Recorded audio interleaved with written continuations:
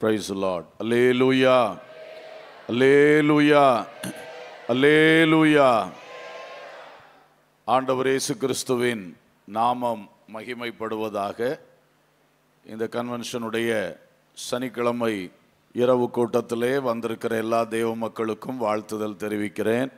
மேடையில் அமர்ந்திருக்கின்ற தேவ ஊழியர்கள் ஒவ்வொருவருக்கும் வாழ்த்துதல் தெரிவிக்கிறேன். அன்பானவர்களே தேவன் நமக்காக யாவற்றையும் செய்து முடித்திருக்கிறார். தம்முடைய குமாரனாகிய இயேசு கிறிஸ்துவை இந்த உலகத்தில் அனுப்பி நம்முடைய பாவ மன்னிப்பாகிய மீட்புக்காக தெய்வீக சுகத்துக்காக சாப விமோசனத்துக்காக ஆண்டவர் இயேசு சிலுவையில் யாவற்றையும் செய்து முடித்திருக்கிறார். அல்லேலூயா. அந்த நன்மைகளை அந்த ஆசீர்வாதங்களை அனுபவித்து வாழுகின்ற பாக்கியம் நமக்கு தந்திருக்கிறார். அமேன் நாம் இயேசுவை அறியாதிருந்தோம். இயேசு நம்மை தேடி வந்து தம்மை நமக்கு வெளிப்படுத்தி இந்த அருமையான சிலாக்கியத்துக்குள்ளே நம்மை கொண்டு வந்திருக்கிறார். அல்லேலூயா. எத்தனை பாக்கியம். நம்மை விட அறிவாளிகள் பலசாலிகள் ஞானிகள் எல்லாம் உண்டு. ஐஸ்வர்யவான்கள் உண்டு. அவங்களுக்கெல்லாம் வெளிப்படுத்தப்படாத இந்த சுவிசேஷத்தின் ரகசியத்தை இயேசு கிறிஸ்துவின் சிலுவையினால் கிடைக்கிற நித்திய மகிமையை நமக்கு வெளிப்படுத்தினார். அல்லேலூயா. நாம் செய்த பாவங்களுக்கு நாம் தண்டனை அனுபவிக்கிறதுக்கு பதில் ஆண்டவராய் இயேசு கிறிஸ்து நாம் செய்த பாவங்களுக்குரிய தண்டனைகளை அவர் தம்மேல் ஏற்றுக்கொண்டு சிலுவையில் நமக்காக ரத்தம் சிந்தி ஜீவனை கொடுத்தார். அல்லேலூயா. அந்த ரட்சிப்பு அந்த சிலுவையினால் உண்டான ஆத்ம ரட்சிப்பு அதை நமக்கு அருளி செய்திருக்கிறார். லேலூயா எத்தனை பாக்கியம் கத்தருக்கு மகிமை உண்டாகட்டும். எனவே நாம் இயேசுவின் வருகையில் இயேசுவோடு சேர்த்து கொள்ளப்பட போகிறோம். எத்தனை பேர் அந்த நம்பிக்கையோடு வாழ்கிறீர்கள்? ஆமென். நமக்காக பிதாவின் வீட்டில் அநேக வாசஸ்தலங்கள் உண்டு. அதில் ஒன்றை உங்களுக்காக ஆயத்தம் பண்ண போகிறேன்னு சொல்லி தான் இயேசு பூமியிலிருந்து பல்லவத்து போனார்.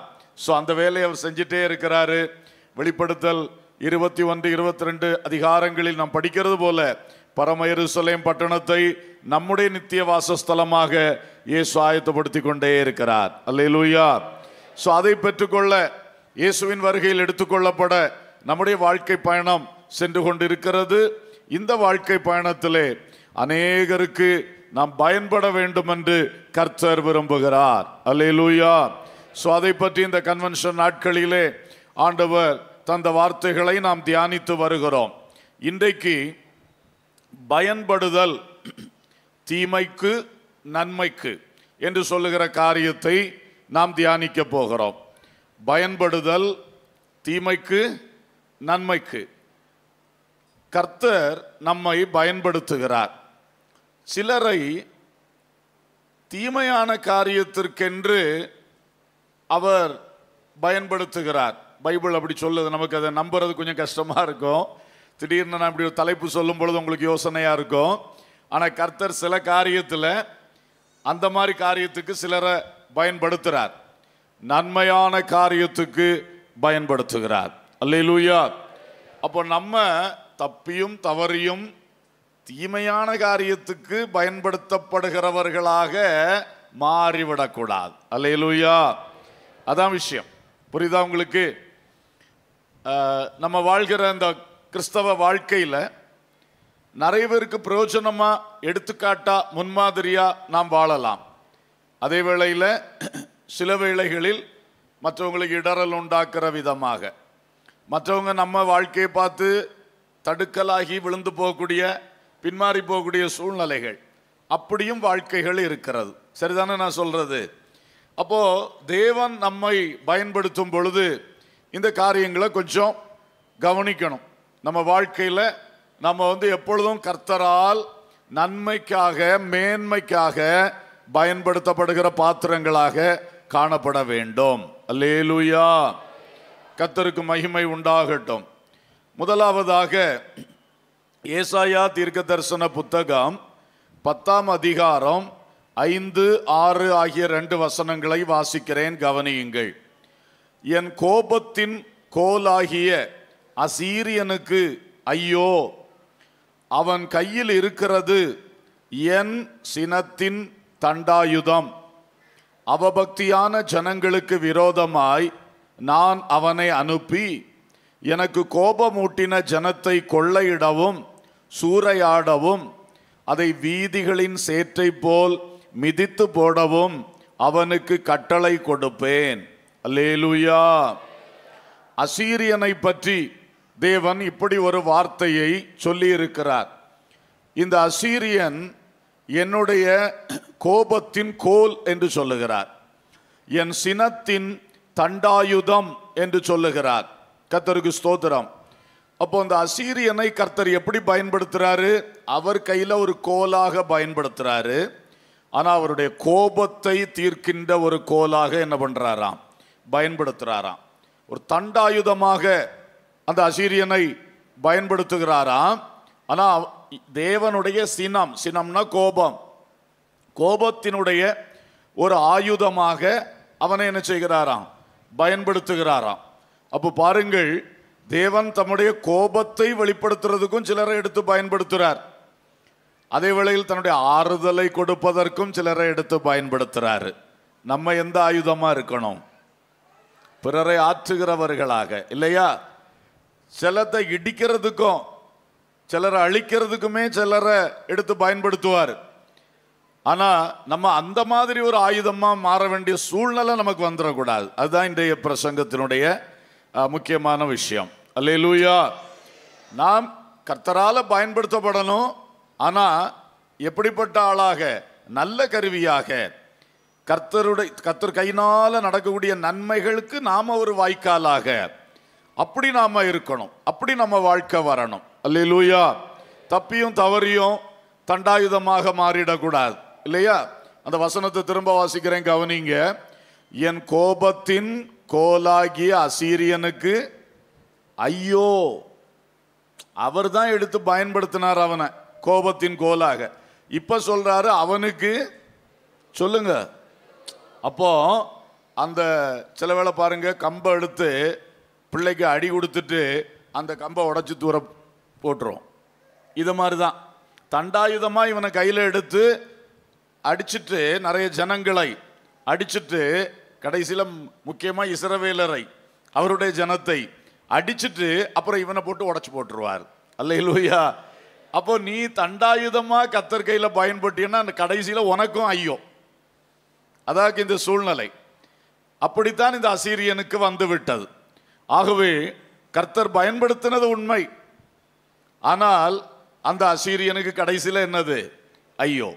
அப்போ அடுத்த வசனம் சொல்லுது அவபக்தியான ஜனங்களுக்கு விரோதமாய் நான் அவனை அனுப்பி. நிறைய மக்கள் கூட்டங்கள் நிறைய தேசங்கள்.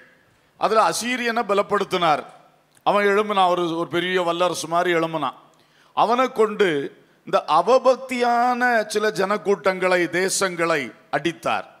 அதுக்கு நேரம் அவனை அனுப்பினார்.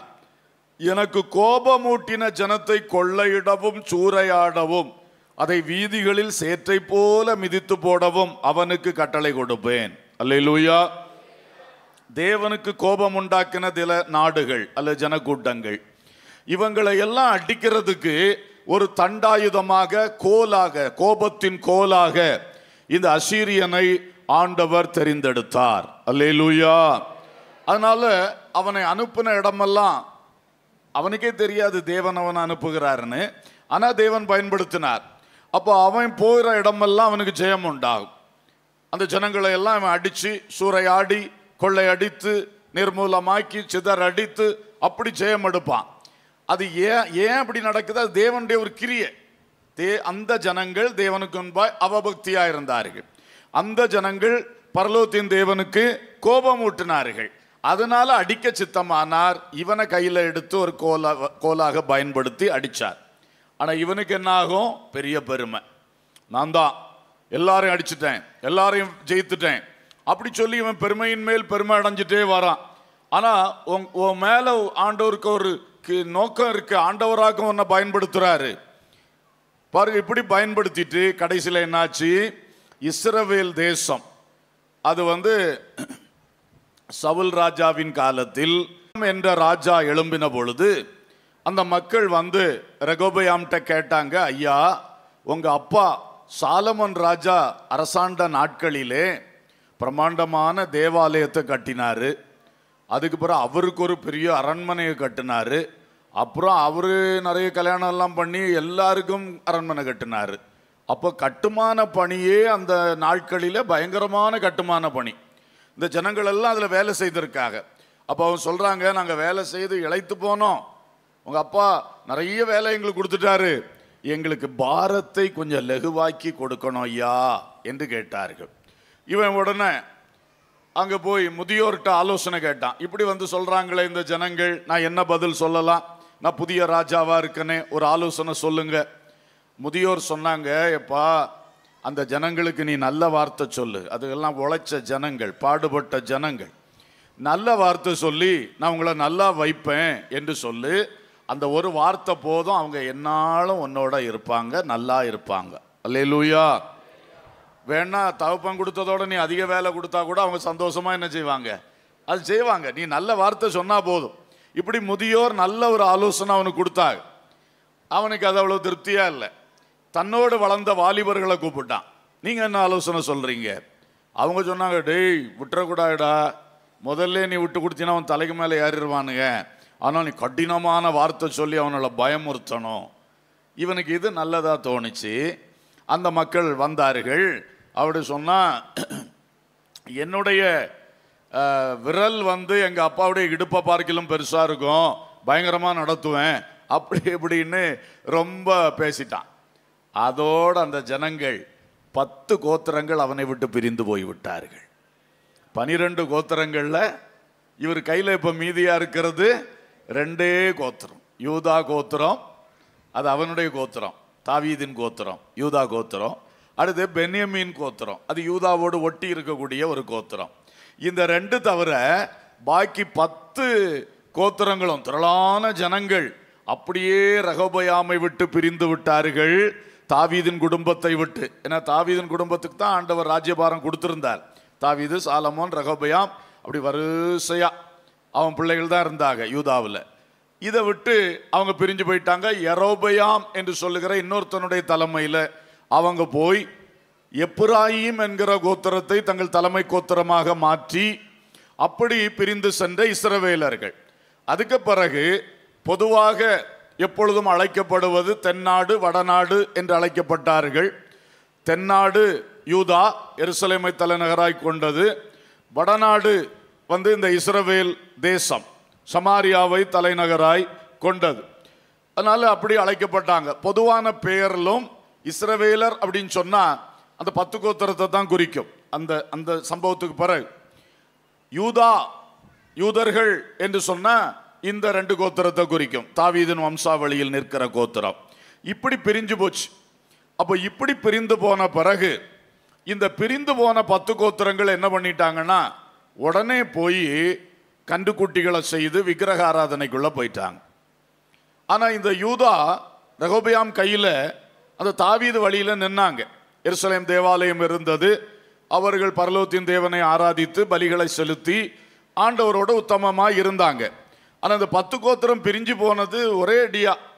அவங்க எல்லாமே அவங்களுக்கு அங்கே தெய்வங்களை செய்து ஒருத்தனும் எருசலேம் போகக்கூடாமல் போகாமல் பார்த்துக்கணும்னு சொல்லி பல காரியம் செஞ்சாங்க. வழி தப்பிட்டாங்க. அப்பொழுது அநேக தீர்க்கதரிசிகளை எழுப்பி கர்த்தர் அவர்களை எச்சரித்தார். இஸ்ரவேலு மனம் திரும்பு. நீ தேவனை நோக்கி எப்பராய்மை மனம் திரும்பு என்று சொல்லி சொல்லி நிறைய தீர்க்க தரிசனம் அந்த பைபிளில் படிக்கிறோம். அதெல்லாம் அந்த பத்து கோத்திரத்துக்கு சொல்லப்பட்ட தீர்க்க தரிசனங்கள் ஆனாலும் அவர்கள் கீழ்ப்படியலை. ஆண்டவர் நிறைய தருணங்களை கொடுத்தார். அது பிறகு கடைசியில் எச்சரிப்புகளை கொடுத்தார். எப்ராயிமே நீ மனம் திரும்பு இல்லாவிட்டால் நான் உன்னை அடிப்பேன் சிதறடிப்பேன் நிறைய எச்சரிப்பு கொடுத்தார். அதிலும் அவங்க மனம் திரும்பலை. கடைசியாக ஆண்டவர் ஓசியாவை கொண்டு தீர்க்க தரிசனம் உரைக்கும் பொழுது அவருடைய உள்ளத்தின் வேதனையை வெளிப்படுத்தினார். எப்ராயிமே நான் உன்னை எப்படி கைவிடுவேன்? உன் சிறு வயது முதல் நான் உன்னை கரம் பிடித்து நடத்த பழக்கினேன். உன் இளவயதின் பக்தியை நான் அறிந்திருக்கிறேன். ஆனால் இப்போ நீ என்னுடைய ஆலோசனைகளை எச்சரிப்புகளை மிஞ்சி போயிட்ட. உன்னை அடிக்க வேண்டிய நிர்பந்தம் வந்துவிட்டது. நான் உன்னை எப்படி கைவிடுவேன்? இப்போமாவது மனம் திரும்புன்னு கடைசி கட்ட எச்சரிப்புகளையும் ஆண்டவர் கொடுத்தாரு. ஒன்றிலும் அவர்கள் கீழ்ப்படியில்லை கடைசியில் தான் இந்த அசீரியனை அந்த இஸ்ரவேலினுடைய பத்து கோத்திரங்களுக்கு எதிராக கர்த்தர் அனுமதித்து விட்டார். லேலூயா அப்போ அசீரியன் வர ஆரம்பிச்சான். அவன் வந்து வந்து மோதி மோதி மோதி கடைசியில் மொத்தமாக அந்த பத்து கோத்திரங்கள் அடங்கின இஸ்ரவேலை அவன் சிதறடித்து விட்டான். அல்லேலூயா. அங்கு சிதறடிக்கப்பட்ட அந்த இஸ்ரவேலர்கள் பல பாகங்களுக்கு போனார்கள். இந்தியாவிலும் சில பகுதிகளில் அவர்கள் அவருடைய பின் சந்ததிகள் குடியேறி இருக்கிறார்கள் சில சரித்திர குறிப்புகள் அதை சொல்லுகிறது. அப்போ இந்த மாதிரி பல உலக நாடுகளிலே இந்த இஸ்ரவேலுடைய பத்து கோத்திரங்கள் அப்படியே சிதறடிக்கப்பட்டு ஒன்றுமில்லாமல் போனது. அந்த வேலையை செய்தது இந்த அசீரியன். அதை கர்த்தர் தான் அவனை ஒரு தண்டாயுதமாக எடுத்து என்ன பண்ணார்? பயன்படுத்தினார். அவன் அதிலே பெருமை உள்ளவனாய் மாறின பொழுது கடைசியில் அவனையும் கர்த்தர் தண்டிப்பேன் உனக்கும் ஐயோ என்று சொன்னார். அல்லேலூயா. இப்போ கவனிங்க இதில் ரெண்டு விஷயம். ஒன்று நாம் பரலோகத்தின் தேவனால் பல காரியங்களுக்காக பயன்படுத்தப்பட்டு கொண்டே வருகிறோம். சரிதானா? இப்போ ஒரு உதா இடையில ஒன்று சொல்கிறேன் தேவன் பிசாசை கூட பயன்படுத்துகிறார் இந்த யோபுவை சோதிக்கிறதுக்கு பிசாசுக்கு தான் அனுமதி கொடுத்தார். சரிதானே? சோதனைக்காரன் யாரு? பிசாஸ். அப்போ ஆண்டவர் அனுமதி இல்லாமல் அவன் என்ன செய்ய முடியாது? யோபு தொட முடியாது. ஆனால் யோபுவை சோதிக்கட்டும் என்று தேவன் தீர்மானித்தோன்னு அவன் கையில் என்ன செய்தார்? கொடுத்தார். இப்படி சாத்தான் கூட பல வேளைகளில் கர்த்தருடைய ஒரு அனுமதியின் பேரில் செயல்படுறான். ஆனால் ஒட்டுமொத்தமாக மேலே ஆண்டவருடைய கண்ட்ரோல் தான் இருக்கிறது. அல்லேலூயா. சாத்தான் ஆண்டவரை பொறுத்த மட்டிலே அவன் ரொம்ப ஒரு கீழே உள்ளவன். அவன் ஒரு ஒரு பணிவிடை ஆவிதான் அவன். தேவனுடைய பணிவிடை ஆவிகளில் அவனும் ஒரு பணிவிடை ஆவிதான். ஆனால் தேவன் சில சமயத்தில் பயன்படுத்துகிறார் அதே மாதிரி ராஜாக்களையும் ஆண்டவர் பயன்படுத்துகிறார் சில ராஜாக்கள் நன்மையாக ஆளுகிறாங்க. சில ராஜாக்கள் நம்மை துன்பப்படுத்துகிறார்கள். சரிதானே? சில அதிகாரிகள் ஆளுகையாளர்கள் நம்மை துன்பப்படுத்துகிறாங்க இது எல்லாத்துக்கும் மேலே ஆண்டவருடைய ஒரு நோக்கம் கிரிய இருக்கிறது. அல்லையிலூயா ஸோ அந்த வழியில் தான் இந்த ஜனங்கள் சொல்லி சொல்லி கேட்காத பொழுது அவளை அடிக்க சித்தமானார். அப்பொழுது இவனை வைத்து அடித்தார். அன்பானவர்களே இதை போல சிலருடைய வாழ்க்கை ஆண்டவருக்கு பிரியமில்லாதது. சொல்லி சொல்லி கேட்க மாட்டாங்க திருந்த மாட்டாங்க. கடைசியில் ஆண்டவர் அவங்கள தண்டிக்க சித்தமாவார். அப்போ யாரோ ஒருவனை கொண்டு அவனை தண்டிப்பார். அந்த யாரோ ஒருவன் நாமாக இருந்து விடக்கூடாது. அல்லே லூயா அல்லே லூயா அப்போ நம்ம அதில் கவனமாக இருக்கணும்னா என்ன செய்யணும்? நான் ஆண்டவர் கையில் ஒருவனை ஆசீர்வதிப்பதற்கு ஆண்டவர் என்ன பயன்படுத்தணும். ஒருவன் வாழ்க்கையை நல்லாக்குறதுக்கு ஆண்டவர் என்ன என்ன செய்யணும்? பயன்படுத்தணும். அதற்கு மாறாக ஒருத்தனை தண்டிக்கிறதுக்கோ ஒருத்தனை அழிக்கிறதுக்கோ என்ன என்ன செய்திடக்கூடாது? பயன்பட விட்டுறக்கூடாது அல்லையிலூயா அப்போ இந்த விஷயத்தில் நாம் கவனிக்க வேண்டியது இப்போ இயேசு கிறிஸ்துவுக்குள் வந்த பிள்ளைகள் நீங்கள் ரட்சிக்கப்பட்டு மூழ்கி ஞானஸ்நானம் பெற்று பரிசுத்த ஆவியின் அபிஷேகத்தை பெற்று பரிசுத்த சபை ஐக்கியத்தில் சேர்ந்து கிறிஸ்துவின் சீஷர்களாக தெரிந்து கொள்ளப்பட்ட தேவ பிள்ளைகளாக ஆண்டவருக்குள்ள வளர ஆரம்பிக்கும் போதே அந்த ஞானஸ்நானம் எடுத்த முதல் நாள் தொடங்கி உங்கள் சுபாவத்தில் திருத்தங்கள் வந்து கொண்டே இருக்க வேண்டும். அல்லேலூயா. ஏன்னா நம்ம சுபாவங்கள் வந்து மண்ணுக்குரிய சுபாவம். நம்ம மண்ணிலிருந்து எடுக்கப்பட்ட மனிதர்கள். ஆனால் இனி அந்த ஸ்பாவம் இயேசுவின் ஸ்பாவத்தை போல மாறணும். விண்ணுக்குரிய ஸ்பாவமாக மாறணும். அல்லேலூயா. ஆண்டவர் சொன்னா நீங்கள் மண்ணிலிருந்து உண்டானவர்கள் நான் விண்ணிலிருந்து வந்தவன். வித்தியாசம் இருக்குது. ஸோ இயேசுக்குள் இருக்கிறது முழுசும் தெய்வீக குணங்கள். அன்பு சந்தோஷம் சமாதானம் சாந்தம் இச்சையடக்கம் தயவு நற்குணம் அப்படி நிறைந்து இருக்கிறார் அவர்கிட்ட எந்த ஒரு தீமையான காரியம் கிடையாது. அப்படி இருக்கும் பொழுது நமக்குள்ள ஆட்டோமேட்டிக்காக இருக்கிறது எல்லாமே கெட்ட குணங்கள் தான். அப்படி இருக்கும் பொழுது நம்ம இனி அந்த இயேசுவை போல மாறணும். ஏன்னா அவர் சுபாவத்தை நம்ம தரித்து கொண்டாதான் பரலோகத்துக்குள்ள போக முடியும். அல்லேலூயா. கெட்ட நோக்கம் கெட்ட சிந்தை கெட்ட கிரியை உள்ளவனை கொண்டு ஆண்டவர் இப்போ பரம என்ன செய்ய மாட்டார்? உள்ள அனுமதிக்கவே மாட்டார். அப்புறம் அதுவே கெட்டு போகுமே. இல்லையா? ஒரு பொல்லாதவனை கொண்டு ஒரு பட்டணத்தில் குடியேற்றினா அந்த பட்டணத்தை அடுத்து அவன் கெடுத்து போடுவான். அப்போ அவ பொல்லாதவனை கொண்டு பரமேர் சிலைமில் என்ன பண்ண மாட்டார்? குடியேற்றி வைக்க மாட்டார். அதனால தான் திருத்துறார் திருத்துறார். நம்முடைய ஆத்தும ரட்சிப்பு ஒரு நேரம் ஒரு இமைப்பொழுதில் கிடைக்கும். ம- ஆண்டவர்கிட்ட நான் ஒரு பாவி என்று உணர்ந்து மனங்க சொந்து அறிக்கையிட்டால் உடனே மன்னிப்பார். அதே வேளையில் நம்முடைய சுபாவ மாற்றம் என்பது வாழ்நாள் முழுசும் நடந்து கொண்டே இருக்கும். அல்லேலூயா. ரட்சிக்கப்பட்ட தேவ பிள்ளைகளே ஒவ்வொரு நாளும் நம்முடைய சுபாவத்தின் ஏதோ ஒரு பகுதி திருந்தி கொண்டே இருக்கணும். ஏன்னா நிறைய இருக்கு அந்த சுபாவங்கள் தன்மைகள். திருந்தி கொண்டே இருக்கணும். அப்போ இந்த மாதிரி நம்ம சுபாவங்கள் திருந்தி வந்து கொண்டிருந்தா நான் சொன்ன மாதிரி ராங் சைடில் யூஸ் ஆக வேண்டிய ஆபத்து நமக்கு வராது. அல்லேலூயா. அந்த பிறரை அழிக்க அந்த மாதிரிப்பட்ட தண்டாயுதங்களாய் மாறுகின்ற வாய்ப்பு நமக்கு வராது. சுபாவ திருத்தம் இல்லாமல் இருக்கிறவர்கள் எத்தனையோ வருஷங்களாக இயேசுவின் பிள்ளைகளாக இருந்தோம். கோபம் மாறல. எரிச்சல் மாறல. பெருமை மாறல. பொறாமை மாறல. கடினத்தன்மை மாறல. சுயம் மாறல. கொஞ்சமாகிலும் மாற்றம் காணவில்லை. பேர் மட்டும் தேவ பிள்ளை ஆனா உள்ளுக்கு பழைய சுபாவம். ஜென்ம சுபாவம். மாம்ச குணம். இதுதான் ஆபத்து. அப்ப இந்த மாதிரி இருக்கிற ஆளு தான் ஈஸியா அதுக்கு பயன்படும். ஏன்னா இங்கே ஏற்கனவே கோபம் இருக்குது எரிச்சல் இருக்குது பகை வைராக்கியம் இருக்குது அப்போ ஆட்டோமேட்டிக்காக நீ சரியில்லை உன் வழியில் போ என்று அப்படி பயன்படுத்த விட்டுருவார். ஆண்டவருடைய கிரியை நடக்கும். அங்கே ஒருத்தனுக்கு தண்டனை உண்டாகும் அவர் செய்ய வேண்டிய கிரியை செய்வார். ஆனால் நீ அந்த ஆயுதமாக மாறி போவாய் நாளைக்கு ஒன்றை தூக்கி வெளியே போடுவார். அல்லேலூயா. ஸோ இந்த ஒரு விவேகம் அறிவு ஞானம் இன்றைக்கு தேவ பிள்ளைகளுக்கு வரட்டும். அல்லேலூயா.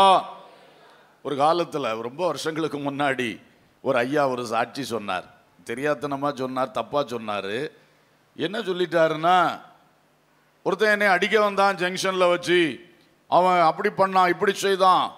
கடைசியில் ஆவியானவர் என்கிட்ட சொன்னார் ஒரு அடி கொடுன்னு சொன்னார். நான் ஒரு அடி கொடுத்தேன் அந்தால போயிட்டான். இது நல்ல சாட்சியா? ஒருவேளை இவர் அடி கொடுத்து அவன் போனது அவருக்கு வெற்றியாக இருக்கும். ஆனால் இதுதான் இந்த ராங் சைடு யூஸ் புரியுதா உங்களுக்கு? இந்த மாதிரி நம்ம தவறான சைடில் நம்ம என்ன செய்யக்கூடாது? பயன்படக்கூடாது. இயேசுவுக்கு சாட்சிகளாக இருக்கணும். அப்போ அந்த இடத்துல இவர் பொறுமையோடு நின்று வெற்றி பெற்றிருந்தா அது நல்ல சாட்சி. அவன் வலது கன்னத்தில் அடித்தாலும் இவர் திரும்ப அடிக்காமல் ஆ சரியப்பா வேணா இடது கன்னத்திலையும் அடிச்சிட்டு போன்னு சொல்லியிருந்தாருன்னா மகிமையான சாட்சி. அப்படி தானே உங்களுக்கு புரியலையோ? அப்புறம் இப்படி மும்முன்னு இருக்குதியே கத்தருக்கு சோத்திரம் உங்களுக்கு இப்படிப்பட்ட வேலைப்பாடு இருக்கோ? கத்தருக்கு ஸ்தோத்திரம். அப்ப இயேசுவின் வழியிலே நின்று நாம ஜெயம் எடுத்தோம்னா அதுதான் பரலோகத்தை பொறுத்த மட்டும் நம்முடைய ஆவிக்குரிய விஷயத்துல பெரிய ஜெயம். ஆமென். கொஞ்சம் ஒரு அலிலியா சொல்லி பார்க்கலாமே. ஆ ஸ்தோத்திரம். இது கண்டிப்பா வரணும். இன்னைக்கு நிறைய பேருக்கு இது கிடையாது. அதாக்கும் அந்த மௌனம். அந்த மௌனத்துக்கு அடையாளம் அதுதான். சாட்சி இல்லை. வேதம் எல்லாம் நல்லா படிப்பாங்க. வசனம் எல்லாம் நல்லா சொல்லுவாங்க. விட்டா பிரசங்கமே பண்ணுவாங்க. ஆனால் வாழ்க்கையில் ஒரு சம்பவம் தான் பழைய உலகத்தானா தான் செயல்படுறா. பழைய உலகத்தானா செயல்படுறீங்க. கொஞ்சம் உணருங்க. கொஞ்சம் புரிந்து கொள்ளுங்க. இன்றைக்கு ஒரு தீர்மானம் எடுத்து திருந்தணும். நாம் அந்த பழைய மனுஷனை உள்ள வச்சுக்கிட்டு வெளியே புதிய மனுஷனுக்கு வேஷம் காட்டி கொண்டு திரியவே கூடாது. அல்லையிலூயா இதுதாங்க அந்த மாதிரிப்பட்ட காரியத்தில் நம்மளை கடைசியில் கொண்டு தள்ளி போடும். யூதாஸ் காரியத்தை பார்த்தீங்களா? கூட நடந்தான் தெரிந்து கொள்ளப்பட்ட அப்போஸ்தலரில் ஒருவன் அது யார் தெரிந்து கொண்டது? பிதாவானவர் தெரிந்து கொண்டு இயேசுவுக்கு கொடுத்தார்னு சொல்லியிருக்கு. இயேசு ஒரு ராத்திரி முழுசும் பிதாவானவர்கிட்ட ஜோம் பண்ணி பிதாவானவர் ஒரு பட்டியல் கொடுத்தார் பன்னிரெண்டு பேர் பேர். அவங்களைத்தான் இயேசு அழைத்து தண்டு அப்போஸ்தலராக மாற்றினார். எத்தனை மேன்மைன்னு பாருங்க. ஆனால் அந்த யூதாஸ் காரியத்தை இயேசுவை காட்டி கொடுக்கிற ஆயுதமாக. நினச்சி பாருங்க எப்படி இருக்கு. இயேசுடைய நம்பிக்கைக்கு பாத்திரவான். அவன் கையில் தான் பொருளாதாரத்தை அந்த இதை என்ன சொல் பணப்பைய கொடுத்துருந்தார். கேஷியர் அக்கௌண்டன்ட்டு ட்ரெஷரர் அவன் தான் அப்படி நம்பிக்கைக்குரிய ஒரு பாத்திரமாய் மகிமைக்குரிய அப்போஸ்தலனாய் பேதுரு நம்பர் ஒன்னா இவர் நம்பர் டூ இல்லை. என்ன? அப்படி இருந்தவன் கடைசியில் எங்கே போய் பயன்படுறான் பாருங்க. அது வேற எவனோ பயன்பட்டிருக்க வேண்டிய ஒரு இடம். அப்படி தானே எவனோ ஒருத்தன் இயேசுவை காட்டி கொடுத்துருந்தா அது வேற. சொந்த கூட இருந்த மூணரை வருஷம் ட்ரைனிங் பக்காவாக எடுத்த அந்த யூதாஸ் யூத்து அடுத்து என்ன பண்ணிட்டான்? இயேசுவை காட்டி கொடுத்து கைது செய்ய காரணமானவனாக மாறினான். அப்புறம் அவனுக்கு ஐயோ. அவன் நான்கு கொண்டு தற்கொலை பண்ணி செத்தான். பெரிய அப்போஸ்தலன். சங்கடமாக இருக்கு அந்த காரியத்தை கேட்டா. ஆனால் அது நமக்கு எச்சரிப்புக்காக இந்த பைபிளில் எழுதி தரப்பட்டிருக்கிறது. அல்லேலூயா. நாம் யாரா இருக்கட்டும். ஆனால் இந்த பழைய சுபாவங்கள் மாறவில்லை என்றால் கடைசியில் தோல்வி உண்டாயிரும். அதனால தேவ மக்களே சுபாவ திருத்தத்தில் ஐயோ எனக்கு கோபம் வந்துருச்சே. ஏசோ போல நான் மாறணுமே சமாதானம் வேண்டுமே பொறுமை வேண்டுமே நீடிய பொறுமை வேண்டுமே. இதுதான் நம்முடைய ஆவியின் ஏக்கமாக இருக்க வேண்டும். அல்லேலூயா. ஐயோ அந்த இடத்துல கொஞ்சம் பெருமையா நினைச்சிட்டனே. பெருமை வாயில வந்துருச்சே. இயேசுவே மன்னிங்க. நீங்க தானே செஞ்சீங்க நான் ஒன்றும் செய்யல. ஆனா பெருமை பேசிட்டேன். மன்னிச்சிருங்கப்பா மன்னிச்சிருங்கப்பா தாழ்மைப்படுறேன்ப்பா இப்படிப்பட்ட ஆ- ஆவி உள்ள மனுஷன் இந்த மாதிரி தீமைக்கு ஆளாக மாட்டான். ஆமேன். உங்களுக்கு இப்போ புரியும்னு நினைக்கிறேன். அப்போ உங்கள் வாழ்க்கையில் நீங்கள் டெய்லி நம்ம எப்பவுமே உலகத்தில் உள்ள காரியத்துக்காக நல்லா ஜோம் பண்ணுறோம் ஆண்டவரே பாதுகாவலை தாரும் ஆசீர்வாதத்தை தாரும் வளர்ச்சியை தாரும் பணத்தை தாரும் பொருளை தாரும் வீட்டை தாரும் காரை தாரும். ஆ எல்லாத்தையும் கேட்போம். ஆனால் அதெல்லாம் உலகத்தோட அழிஞ்சு போகிற விஷயம்தான். கிடைச்சாலும் கொஞ்ச காலம் இருக்கும் பிறகு விட்டுட்டு போக வேண்டியதுதான். ஆனால் பாருங்க இந்த ஆத்மாவுக்குள்ள அந்த சுபாவ மாற்றம் இருக்கிறது. அந்த நம்முடைய சுபாவம் கிறிஸ்துவின் சுபாவமாய் மாறுகிற விஷயம் இருக்கிறது. அதுதான் உள்ளான மறுரூபம் என்று இன்னொரு வார்த்தையில் சொல்லப்படுது. பரிசுத்தமாகுதல்னு இன்னொரு வார்த்தையில் சொல்லப்படுது. இதெல்லாம் அதைத்தான் குறிக்கிறது. நம்முடைய உள்ளான தன்மைகள் கிறிஸ்துவின் தன்மையாய் மாறணும். அது அந்த கிரிய அந்த ப்ராசஸ் நமக்குள்ள நடந்துட்டே இருந்துச்சுன்னா நிச்சயமா யூதாச போல மாற வேண்டிய நிர்பந்தம் வராது. அல்லேலூயா. எனவே இன்றைக்கு நம்முடைய தன்மைகள் எப்படிப்பட்டவைகளாக இருக்கிறது? நம்முடைய சுபாவங்கள் எப்படிப்பட்டவைகளாக இருக்கிறது? இதை குறித்து கரிசனை உள்ளவர்களாக இருங்கள். சரீரத்தை குறித்து ரொம்ப கவலைப்படுறீங்க. பொருளாதாரத்தை குறித்து கவலைப்படுறீங்க. குடும்பத்தை பற்றி வேலையை பற்றி ஆ, எல்லாம் எதிர்காலத்தை பற்றி கவலைப்படுறீங்க. ஆனால் உன்னுடைய மகிமையான எதிர்காலம் நித்தியம். அந்த நித்தியத்தில் நீ பிரவேசி மகிமையில் பிரவேசிக்கணும்னா இந்த சுபாவம் மாறிக்கொண்டிருக்கணும். அல்ல லூயா தேவ பிள்ளைகளே ஊழியர்களே விசுவாசிகளே இன்றைக்கு அதிக கரிசனை இந்த விஷயத்தில் எடுக்கணும். சில வேளை பாருங்க சிலருக்கு ஆசை. ஆசை உலக ஆசை உலக ஆசை. இதை ஜெயிக்கவே முடிகிறது இல்லை இது வந்து மண்ணில் உள்ள சுபாவம். அது இயற்கையான மண்ணில் உள்ள ஒரு தன்மை தான் ஆசை. கண்டதெல்லாம் ஆசைப்படும். ஆ இது ஒரு நல்லதுன்னு கேட்டால் அதை ஆசைப்படும். யாரோ ஒருத்தன் கையில் ஒன்று இருந்தால் அதை ஆசைப்படும். இது இப்படி தான் இந்த ஆசை பொருளாசை பண ஆசை மண்ணாசைன்னா என்ன? சொத்தாசை பதவி ஆசை நிறைய ஆசைகள் இருக்கிறது. இந்த ஆசைகளை அழிக்கணும். இந்த ஆசைகள் அது பரிசுத்தாவியின் பலத்தால் வசனத்தினுடைய அந்த கிரியைகளால் நமக்குள்ள அது மாறி தேவ சித்தத்துக்கு ஒப்பு கொடுக்கிற அனுபவம் வரணும். அல்லேலூயா. ஒரு காரியத்தை பார்த்தோன்னா சந்தோஷமா இருக்கு. இது எனக்கு கிடைக்காதான்னு தோணுது. ஆனா கர்த்தருடைய சித்தப்படி நடக்கட்டும். அல்லேலூயா. அந்த இடத்துல அந்த ஆசை அடங்குது பார்த்தீங்களா எனக்கு ஆசையாக தான் இருக்கு. டக்குன்னு ஆசை எழும்புது. ஆனால் ஆண்டவருக்கு சித்தமானா கிடைக்கட்டும். அமேன் இதான் அந்த தேவ சித்தம் என்கிறது எழும்பும்போது இந்த தேவையில்லாத ஆசை இச்சைகள் என்ன செய்கிறது? அது அது கண்ட்ரோல் பண்ணப்படுகிறது. அல்ல லூயா இப்படி ஒவ்வொரு காரியத்திலும் இருக்கு. இந்த ஆசையினுடைய ஒரு ஒரு ஒரு அடுத்த கட்டம் தான் இச்சை. இச்சை. எதிர்பாலர் மேல் இச்சை. மாமிச இச்சை. இது விபச்சாரம் வேசித்தனம் ஒழுங்கற்ற நடக்கை தாறுமாறான வாழ்க்கைக்குள்ள கொண்டு போகுது. இன்னைக்கு உலகத்தில் வெறும் மோசமான அருவறுப்புகளுக்குள்ள மனுஷன் வாழ்ந்துகிட்டு இருக்கான். அப்போ இதுக்கெல்லாம் காரணம் இந்த இச்சை. அது கடைசியில் காம விகாரமாக மாறி ரொம்ப மோசத்துக்குள்ள போகுது. அப்போ அதெல்லாம் அடங்கணும்னா பைபிள் சொல்லுது ஆவினாலே சரீரத்தின் கிரியைகளை அழித்தால் பிழைப்பீர்கள். அல்லேலூயா. ரோமர் எட்டு பதிமூணுல சொல்லியிருக்கு. ஆவினாலே சரீரத்தின் கிரியைகளை அழித்தால் பிழைப்பீர்கள். அதை கண்டுகொள்ளாம விட்டீங்கன்னா அதுவே உங்களை அழிச்சிரும். ஆசை இச்சைகள் ரொம்ப மோசமானது. மனுஷனை அப்படியே இழுத்து கொண்டு கட்டி போட்டுறது. ஸோ இப்படி நிறைய விஷயம் இருக்கு சுபாவ சம்பந்தமாக. நம்மக்கிட்ட பைபிள் வசனம் படிக்கும் பொழுது நமக்கு தெரியும். ஓஹோ பெருமை இருக்கக்கூடாது. பொறாமை எரிச்சல் போன்றது வரக்கூடாது. இந்த பகை விரோதம் சண்டை இதெல்லாம் வரக்கூடாது. இந்த இச்சை ஆசை இச்சை இந்த மாதிரி காரியங்கள் வரக்கூடாது. இப்படி ஒவ்வொன்றையும் படிக்கும் பொழுது நமக்குள்ள அந்த வசனம் உள்ள போகுது. வசனத்தினால சரியான வழி எதுன்னு தெரியுது. அடுத்தது அந்த வழியில் நடக்கிறதுக்கு ஒரு பலன் வேண்டுமே. நமக்கு நல்ல வழி இதுதான் தெரிஞ்சாலும் அந்த கெட்ட வழிக்கு தான் ஈஸியாக இழுத்துட்டு போயிட்டே இருக்கும். உலகம் மாம்சம் பிசாசு என்கிறது. அது ஜெயிக்கணும்னா அதுக்கு தான் தேவன் பரிசுத்த ஆவியை நமக்குள்ளேயே தந்திருக்கிறார். அல்லேலூயா. ஸோ வசனம் வழிகாட்டுகிறது. அந்த வழியில் நடக்கிற பலனை ஆவியானவர் தருகிறார். அல்லேலூயா. அதோடு கூட பரிசுத்த சபை ஐக்கியம். நாம் ஆவியோடு உண்மையோடு தேவனை ஆராதிக்கிற சத்தியத்தை மறைக்காமல் சொல்லுகிற பரிசுத்த ஆவியினுடைய கிரியைகளுக்கு தாராளமாக இடம் கொடுக்கிற சபையை நமக்கு தெரிந்து கொள்ள வேண்டும். ஆமேன். அது இல்லாமல் சும்மா பாரம்பரியத்துக்கு சபை சும்மா அப்படி பேருக்கு புகழுக்கு கல்யாணத்துக்கு கல்லறைக்கு அப்படியெல்லாம் ஒரு சபையை தெரிந்தெடுக்கவே கூடாது. சபை நித்திய ஜீவனுக்கு நம்மை வழிநடத்த வேண்டியது. அப்போ ஆவியோடு உண்மையோடு அங்கே ஆராதனை நடக்கிறதா? சத்தியத்தை மறைக்காமல் சொல்கிறாங்களா பரிசுத்த ஆவியானோட இந்த கிரியைகளுக்கு பூர்ணமாக ஒப்பு கொடுத்துருக்காங்களா? இதை கவனிக்கணும். அப்படிப்பட்ட ஒரு சபையை தெரிந்து கொண்டு ஜபத்தோடு தெரிந்து கொண்டு அதில் உறுதிப்பற்றணும். அல்ல லூயா அந்த சபையில் மெம்பர் ஆயிடணும்.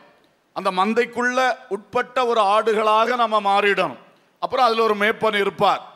அந்த பாஸ்டர் நம்மை நடத்துவார். பாஸ்டர் என்கிற வார்த்தைக்கு மேப்பன் தான் அர்த்தம். என்ன? ஆனால் நம்ம என்னமோ அப்படி பாஸ்டர் என்கிற ஆங்கில வார்த்தைக்கு தமிழில் போதகர்னு சொல்லி பழகிட்டோம். போதகர் என்றால் பாஸ்டர் அல்ல. போதகர்னா டீச்சர். பாஸ்டர் என்றால் மேப்பன். உண்மையில் கத்தர் மேப்பர்களை தான் வச்சு சபையை நடத்துகிறாரு அல்ல இல்லையா ஆனால் அந்த மேப்பர்கள் பாஸ்டராகவும் இருப்பார் மேப்பர்கள் டீச்சராகவும் இருப்பார்கள் கண்டிப்பாக. ஏன்னா மக்களுக்கு போதிக்கிறது அவருடைய முக்கியமான வேலை. எனவே அந்த மேப்பனுக்கு கட்டுப்படணும். அந்த மந்தைக்குள்ளே அடங்கி இருக்கணும். அப்படி இருந்து சத்தியத்தை மேய்ந்து ஜீவத்தண்ணீராகிய ஆவியினால் தாகம் தீர்க்கப்பட்டு இந்த சபை ஐக்கியத்திலே பலனடைந்து முன்னே போனால் வெற்றி உண்டு. அல்லேலூயா! ஏன்னா சபை ஐக்கியம் இருக்கிறதுனால நமக்கு அடுத்த ஆளை பார்த்து வாழ்றதுக்கு வாய்ப்பு இருக்கே. அவர் ஒரு சாட்சி சொல்லுவார் ஆகா ஆண்டவர் அவருக்கு இப்படி கிரிய செய்தாரா? எனக்கும் செய்வார். விசுவாசம் பலப்படுகிறது. ஆமேன். இப்படி நிறைய விஷயம். நம்ம ஒரு தவறான வழிக்கு போகும்போது ஊழியக்காரருடைய பிரசங்கம் எச்சரிக்குது. நம்ம மக்கள் கூட இருக்கிறவங்க பார்க்குறாங்க. இதெல்லாம் பார்த்து நமக்கு ஒரு பயபக்தி வருது. நிறைய விஷயத்தில் சபை பிரயோஜனப்படுகிறது. சபைக்குள்ள இருக்க வேண்டும் என்று வேதம் சொல்லுகிறது. அல்லேலூயா. எனவே இப்படி நீங்கள் இருந்து இந்த சுபாவ சீர்திருத்தத்துக்கு நல்லா இருதயத்தை திறந்து இடம் கொடுங்க. ஆவியானவர் கிரிய செய்யட்டு. வசனத்தை நல்லா படியுங்க. பரிசுத்த ஆவியும் பரிசுத்த வசனமும் தினந்தோறும் உங்கள் உணவாய் மாறட்டும். அல்லேலூயா. காலை எழுந்தவுடன் ஜெபம் பண்ணுங்கள். ஜெபம் நம்மை ஆண்டவருடைய நம்முடைய உள்ளத்தை திறந்து ஜோம் பண்ணுங்க. அப்பதான் அவர் பேசுறது நமக்கு கேட்கும். அல்லேலூயா. சிலரெல்லாம் ஜோம் ரொம்ப ஜோம் பண்ணுறாங்க நல்லா தான் இருக்குது பார்க்கறதுக்கு ஜெபம் எப்போவுமே நல்லது தான் ஆனால் நல்லா ஜோம் பண்ணுவாங்க ஒன்றுலேயும் கீழ்ப்படிய மாட்டார் தன் வழி தனி வழின்னே போவார்கள். அது அந்த ஜெபம் பாருங்கள் கவனிக்க வேண்டிய ஜெபம். நீ ஒன் சைடாக ஜெபிச்சிட்டு இருக்கேன்னு அர்த்தம். மறுபக்கம் தேவன் உன்னோடு பேசவில்லை. தேவன் உன்னோடு கிரியை செய்யவில்லை. உண்மையிலே உன்னுடைய ஜபத்திலே நீ தேவனோடு பேச. ஏன்னா இறைமையா முப்பத்தி மூன்று மூன்று சொல்லுகிறது என்னை நோக்கி கூப்பிடு நான் உனக்கு மறு உத்தரவு தருவேன். அப்போ இங்கேருந்து ஆண்டவரேன்னு கூப்பிட்டா மகனேன்னு அங்கேருந்து சத்தம் வரும். நம்ம உள்ளத்துக்குள்ளே அது துணிக்கும். இந்த டூ வே டிராஃபிக்காக ஜபம் இருந்தால் இங்கே மறுரூபம் நடக்கும். சுபாவ மாற்றம் நடக்கும். நல்ல கைடன்ஸ் இந்த வழி நடன்னு ஆண்டு ஆண்டவர் சொல்லிட்டே இருப்பார். ஸோ வசனம் ஒரு பக்கம் ஜபம் ஒரு பக்கம் அந்த ஜபத்தில் தான் பரிசுத்தாவியின் கிரியைகள். இதை நல்லா நீங்கள் அனுபவிங்க. இதெல்லாம் ஞாயிற்றுக்கிழமை ஆராதனையில் போய் ஆவியில் நிரம்பலாம். அங்கே பாஸ்டர் பிரசங்கம் பண்ணும்போது பைபிளை மெதுவாக திறந்து பார்க்கலாம். இப்படி ஓடுனா சரியாக ஓட்டம் ஜெயமாக முடியாது. ஆமென். டெய்லி பைபிள் உங்கள் வீட்டில் தானே இருக்குது. டெய்லி காலையில் எடுத்து ஒரு மூன்று அதிகாரங்கள் வாசியுங்கள். ஆமென். அல்லேலூயா.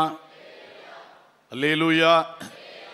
இன்னைக்கு சொல்லுகிற வார்த்தைகள் கொஞ்சம் உள்ள போ கஷ்டப்படுற மாதிரி எனக்கு ஆவியில ஒரு ஒரு ஒரு நினைவு இருக்கிறது. கத்தருக்கு ஸ்தோத்திரம். ஏற்றுக்கொள்ளுங்கள் இதுதான் வாழ்க்கை ஆவிக்குரிய வாழ்க்கை. ஆமேன். ஆவியானவர் நமக்குள் இருக்கிறார். சத்துரு வெள்ளம் போல வந்தாலும் அவனுக்கு எதிராய் அவர் கொடியேற்றுவார். ஆமேன். அது எந்த சத்துருவா இருந்தாலும் சரி ஆசையை கொண்டு நம்மை அழிக்க வருகிற சத்துருவா இருக்கட்டும் பெருமையை தூண்டி நம்மை விளத்தள்ளக்கூடிய சத்துருவா இருக்கட்டும் வேற எரிச்சல் கோபத்தெல்லாம் தூண்டி விட்டு நம்ம கலகக்காரனா மாத்தி நம்முடைய ஓட்டத்தை இழந்து போக செய்யக்கூடிய தந்திர பிசாசா இருக்கட்டும். எந்த சத்துரு வெள்ளம் போல வந்தாலும் ஆவியானவர் கொடியேற்றுவார் ஜெயம் தருவார். அல்லூயா ஆகவே தேவ மக்களே இன்றைக்கு நாம் ஆண்டவருடைய கையிலே ஒரு சின்னத்தின் கோலாக தண்டாயுதமாக ஆயுதமாக மாறிவிடக்கூடாது ஆசீர்வாத பாத்திரமாய் கத்தோடைய கையில் இருக்க வேண்டும். அல்லூயா ரோமரில் கிருபா பாத்திரங்கள் கோபாக்கினை பாத்திரங்கள் அப்படின்னு ரெண்டு வார்த்தைகள் இருக்கிறத நாம் பார்க்க முடியும். நீங்கள் சிலர் பைபிள் வாசிக்கும் பொழுது அதை கவனித்திருப்பீர்கள். ரோமர் ஒன்பதாம் அதிகாரம் இருபத்தி ரெண்டு பாருங்க. தேவன் தமது கோபத்தை காண்பிக்கவும் தமது வல்லமையை தெரிவிக்கவும் தாம் மகிமைக்காக எத்தனமாக்கின கிருபா பாத்திரங்கள் மேல் தம்முடைய மகிமையின் ஐஸ்வர்யத்தை தெரியப்படுத்தவும் சித்தமாய்.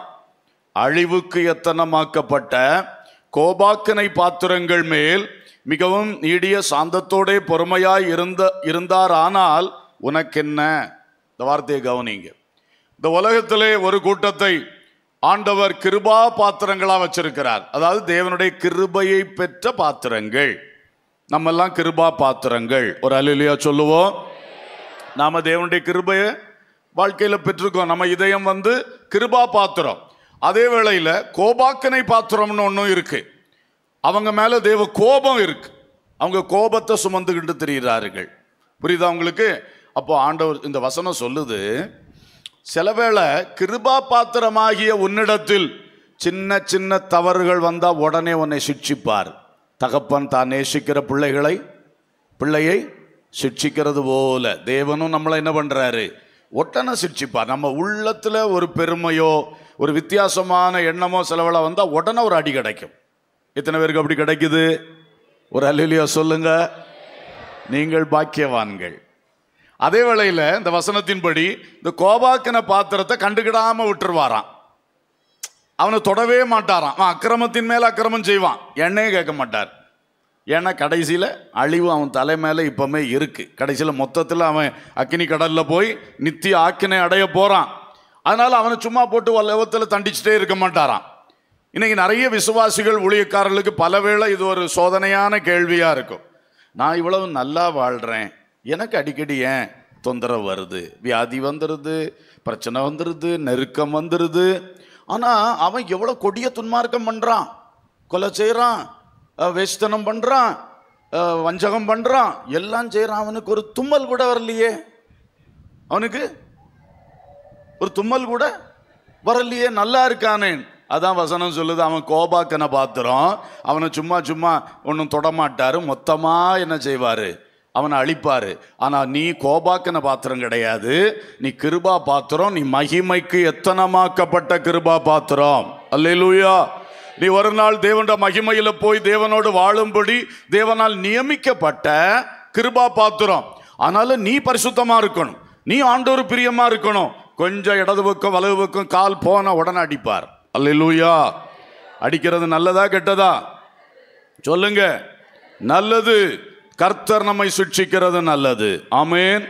ஸ்தோத்திரம். ஆகவே தேவ பிள்ளைகளே இந்த ஒரு அனுபவத்தில் இருக்கணும். நாம் அவர் கையில் தண்டாயுதமாக மாறிடக்கூடாது. ஆசீர்வாத கோலாக இருக்கணும். பிறரை வழிநடத்துகிற மேப்பனின் கோலாக இருக்கணும். மோசை கையில் இருந்த கோலை மாதிரி இருக்கணும். லேலூயா தண்டாயுதமா சின்னத்தின் கோலா நம்ம என்ன செய்யக்கூடாது? மாறக்கூடாது. அதே மாதிரி கிருபா பாத்திரங்களாய் அழைக்கப்பட்டவர்கள் கோபாக்கன பாத்திரமா என்ன செய்திடக்கூடாது?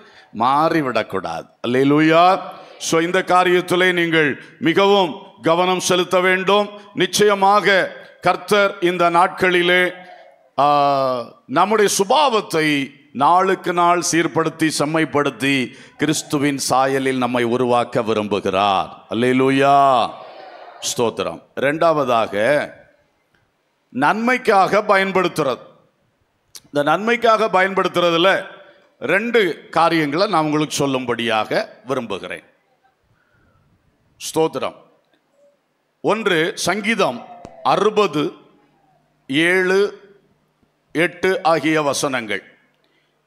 கீலையாத் என்னுடையது மனாசேயும் என்னுடையது எப்பிராயீம் என் தலையின் பலன் யூதா என் நியாய பிரமாணிகன் ஏழாம் வசனம். இனி அடுத்தது நூற்றி எட்டாம் சங்கீதம் எட்டாம் வசனம் பாருங்கள் இதே வசனம்.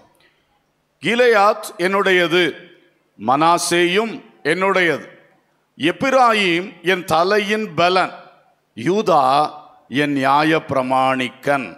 அலேலூயா இதில் ஒரு வார்த்தையை நான் சொல்ல விரும்புகிறேன் எப்பிராயீம் என் தலையின் பலன் என்று சொன்னார். அல்லேலூயா. அசீரியன் என் கோபத்தின் கோல்னு சொன்னார். அசீரியன் என் சினத்தின் தண்டாயுதம்னு சொன்னார். ஆனால் எப்ராஹிமை பற்றி சொல்லும்போது என்ன சொல்லாரு? இவன் என் தலையின் பலன் என் தலையின் பலன். கத்தருக்கு ஸ்தோத்திரம். அதுக்கு ஆங்கில வேதாகமத்திலே விளக்கங்கள் கொடுக்கும் பொழுது ஒரு இடத்துல கொடுத்திருக்கிறது இவன் யார் என்று கேட்டால் தலையின் பலன் என்னுடைய தலையுடைய ஹெல்மெட்னு சொல்லியிருக்கு. ஹெல்மெட் நம்ம பைக்கில் போகிறவங்களாம் ஹெல்மெட் அணிகிற மாதிரி எப்புறாயுமே ஆண்டவர் தலைக்கு ஒரு ஹெல்மெட் மாதிரி சொல்கிறார் அடுத்தது அவன் ஒரு பலன் ஸ்ட்ரெங்க் ஆஃப் மை ஹெட் என்னுடைய தலையினுடைய பலன் என்று சொல்லுகிறார். இப்போ நல்லா கவனிங்க இந்த எப்ராயும் அவனுடைய ஆரம்பம் மிக மேன்மை உள்ளது மிக மேன்மை உள்ளது. அதை வச்சு தான் ஆண்டவர் இதை சொல்கிறார் ஆனால் கடைசியில் அவன் அசீரியனுடைய கையில் விழுந்து போனான் என்கிற சரித்திரத்தை நம்ம முதல்ல படிச்சிட்டோம். ஆனால் முதலாவது இவன் தெரிந்து கொள்ளப்பட்ட பொழுது இவனுக்கு இவன் பெரிய கிருபா பாத்திரமாக தெரிந்து கொள்ளப்பட்டவன். எப்ராயும் மிக மேன்மை உள்ளவன். நல்லா கவனிங்க. இந்த எப்ராயிம்னு சொல்கிறவன் மனாசே எப்ராயிம் ரெண்டு பேரும் யாருடைய பிள்ளைகள்? யோசேப்பின் பிள்ளைகள். எகிப்து நாட்டை அரசாண்ட அந்த யோசேப்பினுடைய பிள்ளைகளாக்கும் மூத்தவன் மனாசே ரெண்டாவது காரன் எப்ராயிம் இந்த எப்ராயிம் மனாசையுடைய தாத்தா யாக்கோப். அவ கொள்ளு தாத்தா ஆபிரகாம். இந்த ஆபிரகாம் சந்ததி. இப்போ இந்த நியாயமா இந்த இஸ்ரவேலுடைய பனிரெண்டு கோத்திரங்கள் வந்து யாக்கோபின் பனிரெண்டு பிள்ளைகளுக்கு பேரில் தான் வரணும். சரிதானா? யாக்கோபின் பிள்ளைகள். யாக்கோபுக்கு இன்னொரு பேர் தான் இஸ்ரவேல்.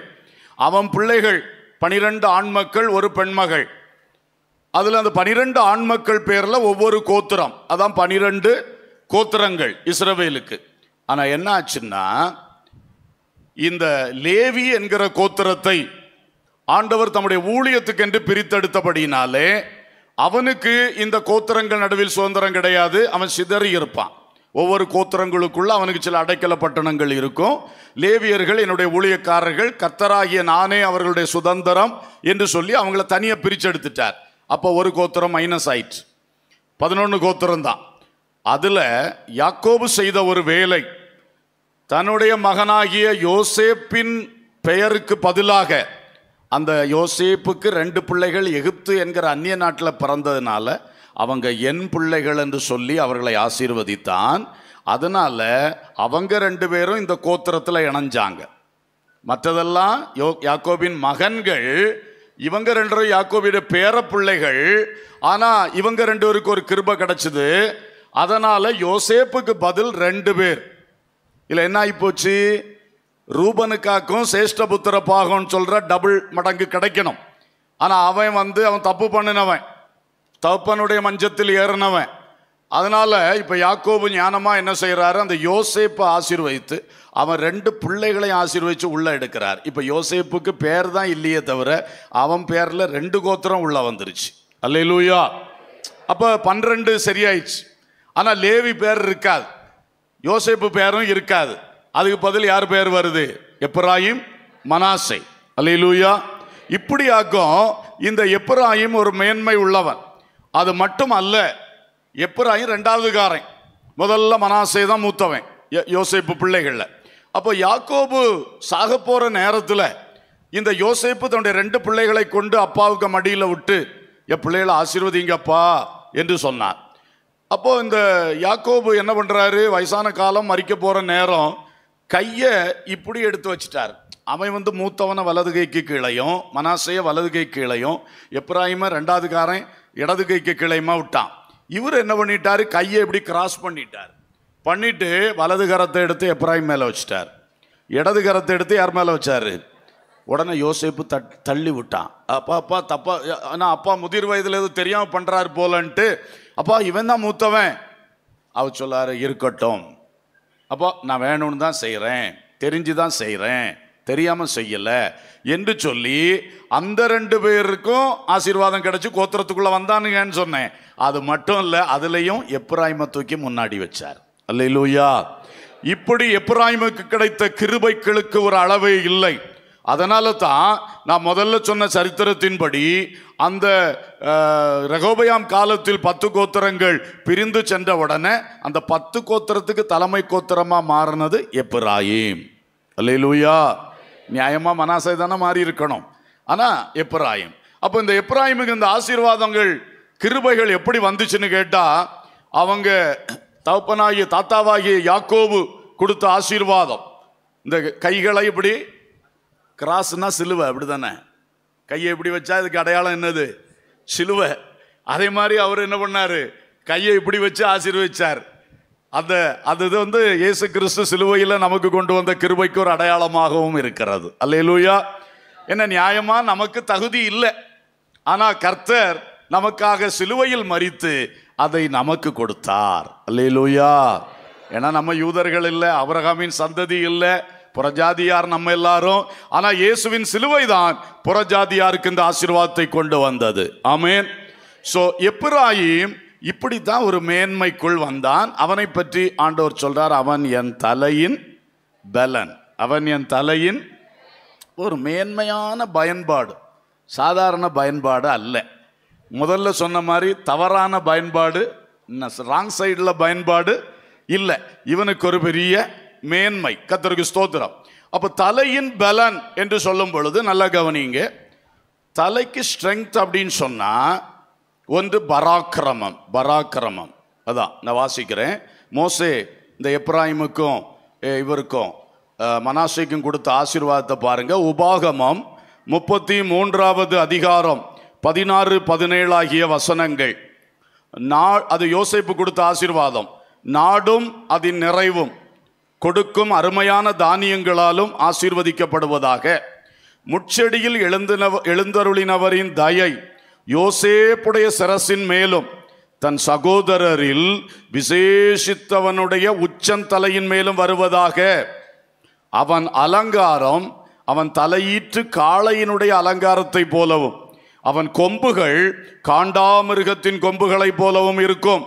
அவைகளாலே ஜனங்களை ஏகமாய் தேசத்தின் கடையாந்தரங்கள் மட்டும் முட்டி துரத்துவான்.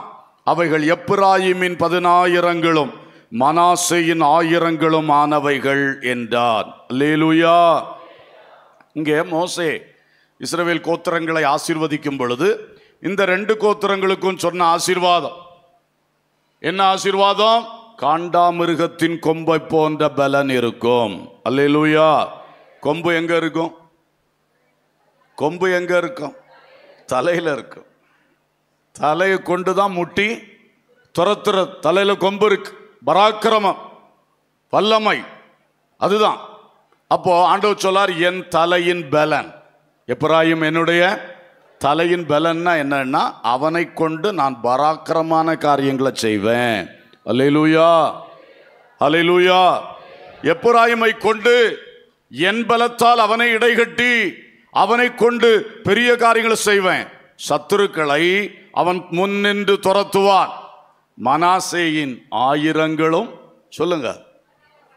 எப்ராஹிமின் பதினாயிரங்களும். சவுல் கொன்றது ஆயிரம். தாவிது கொன்றது ரேங்கிங்கில் வித்தியாசம் வந்திருக்குல்ல. கிரேடில் வித்தியாசம் வந்திருக்குல்ல. அது மாதிரி மனாசைக்கு ஆயிரங்கள். எப்ராஹிமுக்கு பதினாயிரங்கள். அவன் தான் லீடிங் அவன் கூட மனாசை நிற்பான் ஆனா அவன்தான்.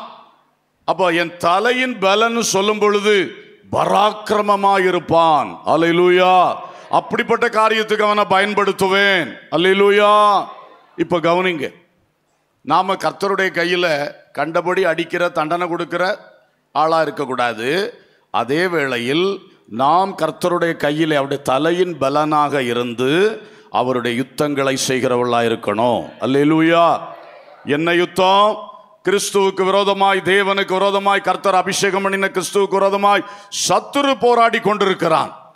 பிசாசானவன் பழைய பாம்பாகிய வலுசர்ப்பம் அந்த பொல்லாத லூசிஃபர் என்கிற விழுந்து போன கேருபீன் அவனுக்கு கூட இருக்கிற பொல்லாத ஆவிகளை கொண்டு கர்த்தருக்கு விரோதமாய் தேவ ஜனத்துக்கு விரோதமாய் சபைக்கு விரோதமாய் பயங்கர யுத்தத்தை நடப்பித்துக் கொண்டிருக்கிறான். அந்த யுத்தத்தை இந்த உலகத்திலே முன்னின்று செய்வதற்குத்தான் கர்த்தர் நம்மை அபிஷேகம் பண்ணி இருக்கிறார் அல்லேலூயா.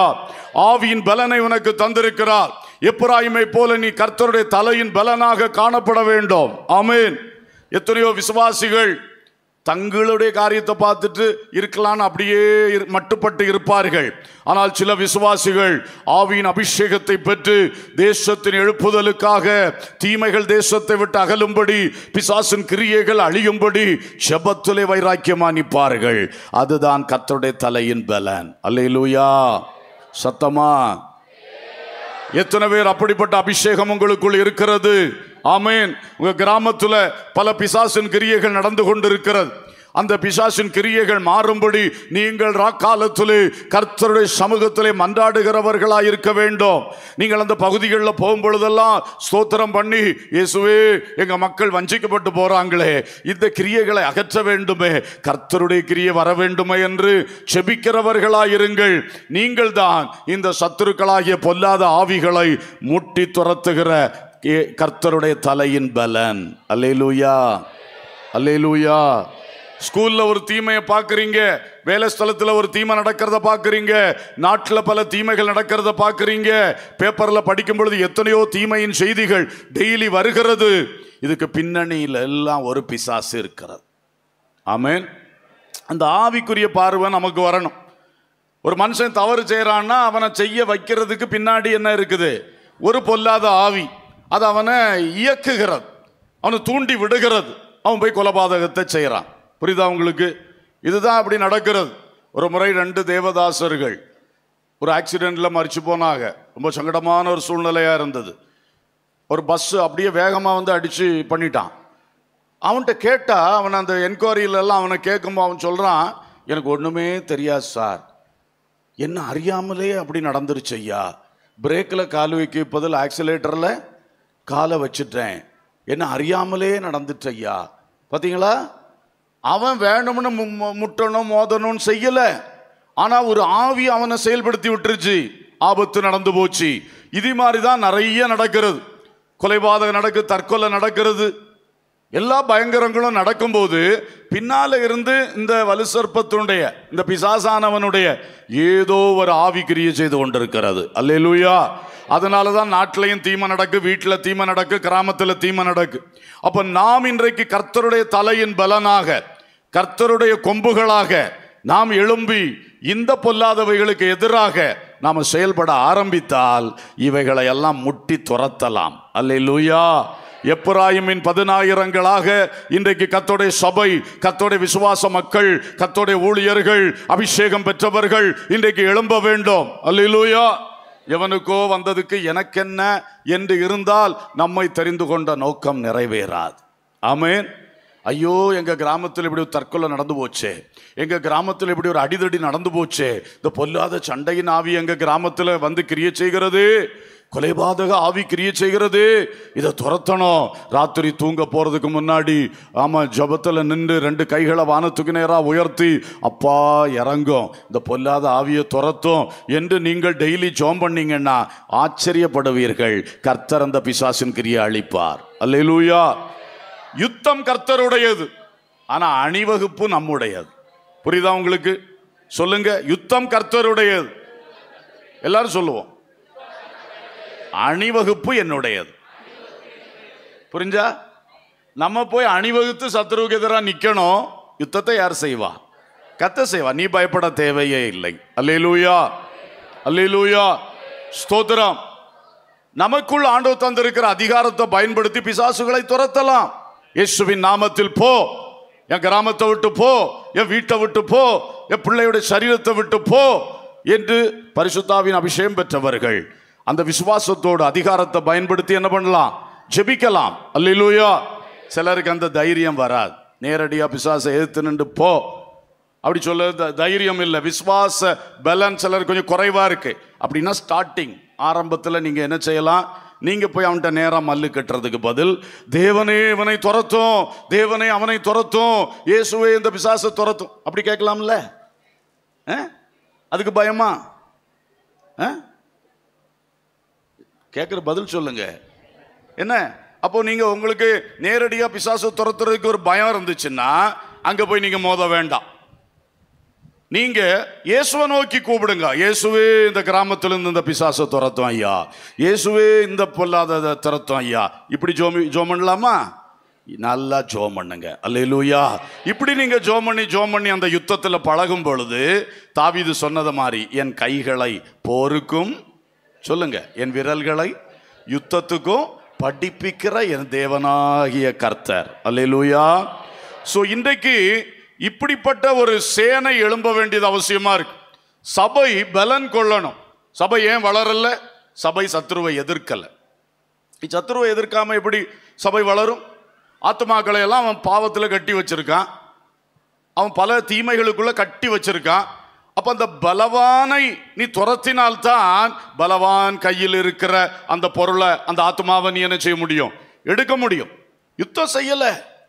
இஸ்ரவேலருக்கு ஒரு பெரிய ரட்சிப்பு உண்டாயிற்று மோசை காலத்துல. அதுக்காக மோசையும் ஆரோனும் பார்வோனை எதிர்த்து நின்று யுத்தம் பண்ணினார்கள். அல்லூயா எத்தனை முறை போய் சவால் விட்டார்கள். ஆனா தங்களுடைய பலத்தில் அல்ல தேவனுடைய பலத்தினால. அல்லூயா அதான் சொல்ல என் தலையின் பலன். தேவனுடைய தலையில் உள்ள பலனாக்கும் நம்ம. ஆமென்.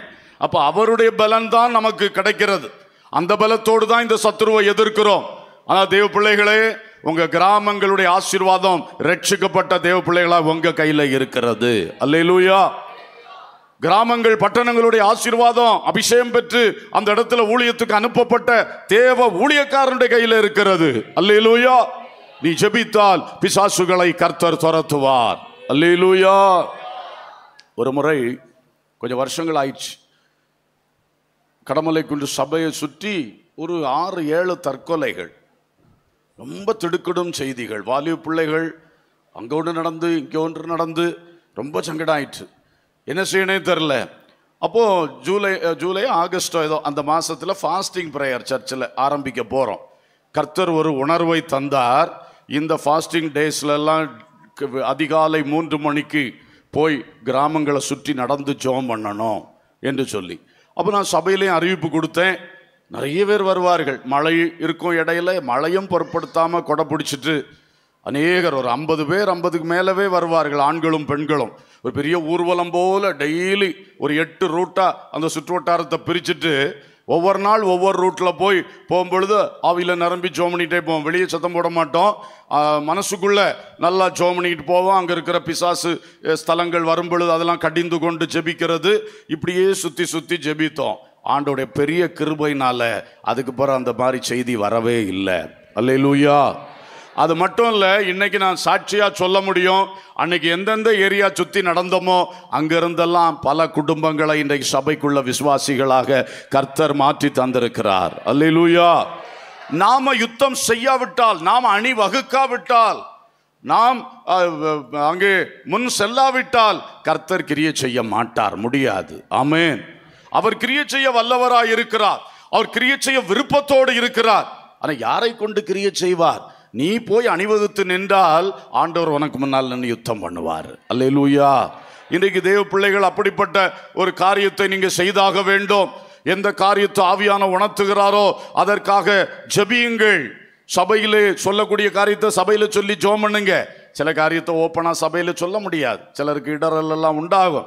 அதை சின்ன சின்ன ஜெப குழுக்கள்ல சொல்லி ஜெபி ஜெபம் பண்ணுங்க. அந்த மாதிரி நம்ம ஜெபிக்க ஜெபிக்க கர்த்தர் பெரிய காரியங்களை செய்வார். அல்லேலூயா. ஒரு பாஸ்டர் அம்மாவுடைய ஒரு சாட்சி. அவர்கள் பெண்கள் குழுவை தன்னுடைய சபையிலே நியமித்து பெண்கள் சேர்ந்து ஜெபிக்க ஆரம்பிச்சாங்களாம். அப்புறம் பெண்கள் போய் ஊழியம் செய்யணும்னு சொல்லி சில ஊழியங்களை திட்டம் பண்ணாங்களாம். பெண்கள் செய்யக்கூடிய சில ஊழியங்கள்.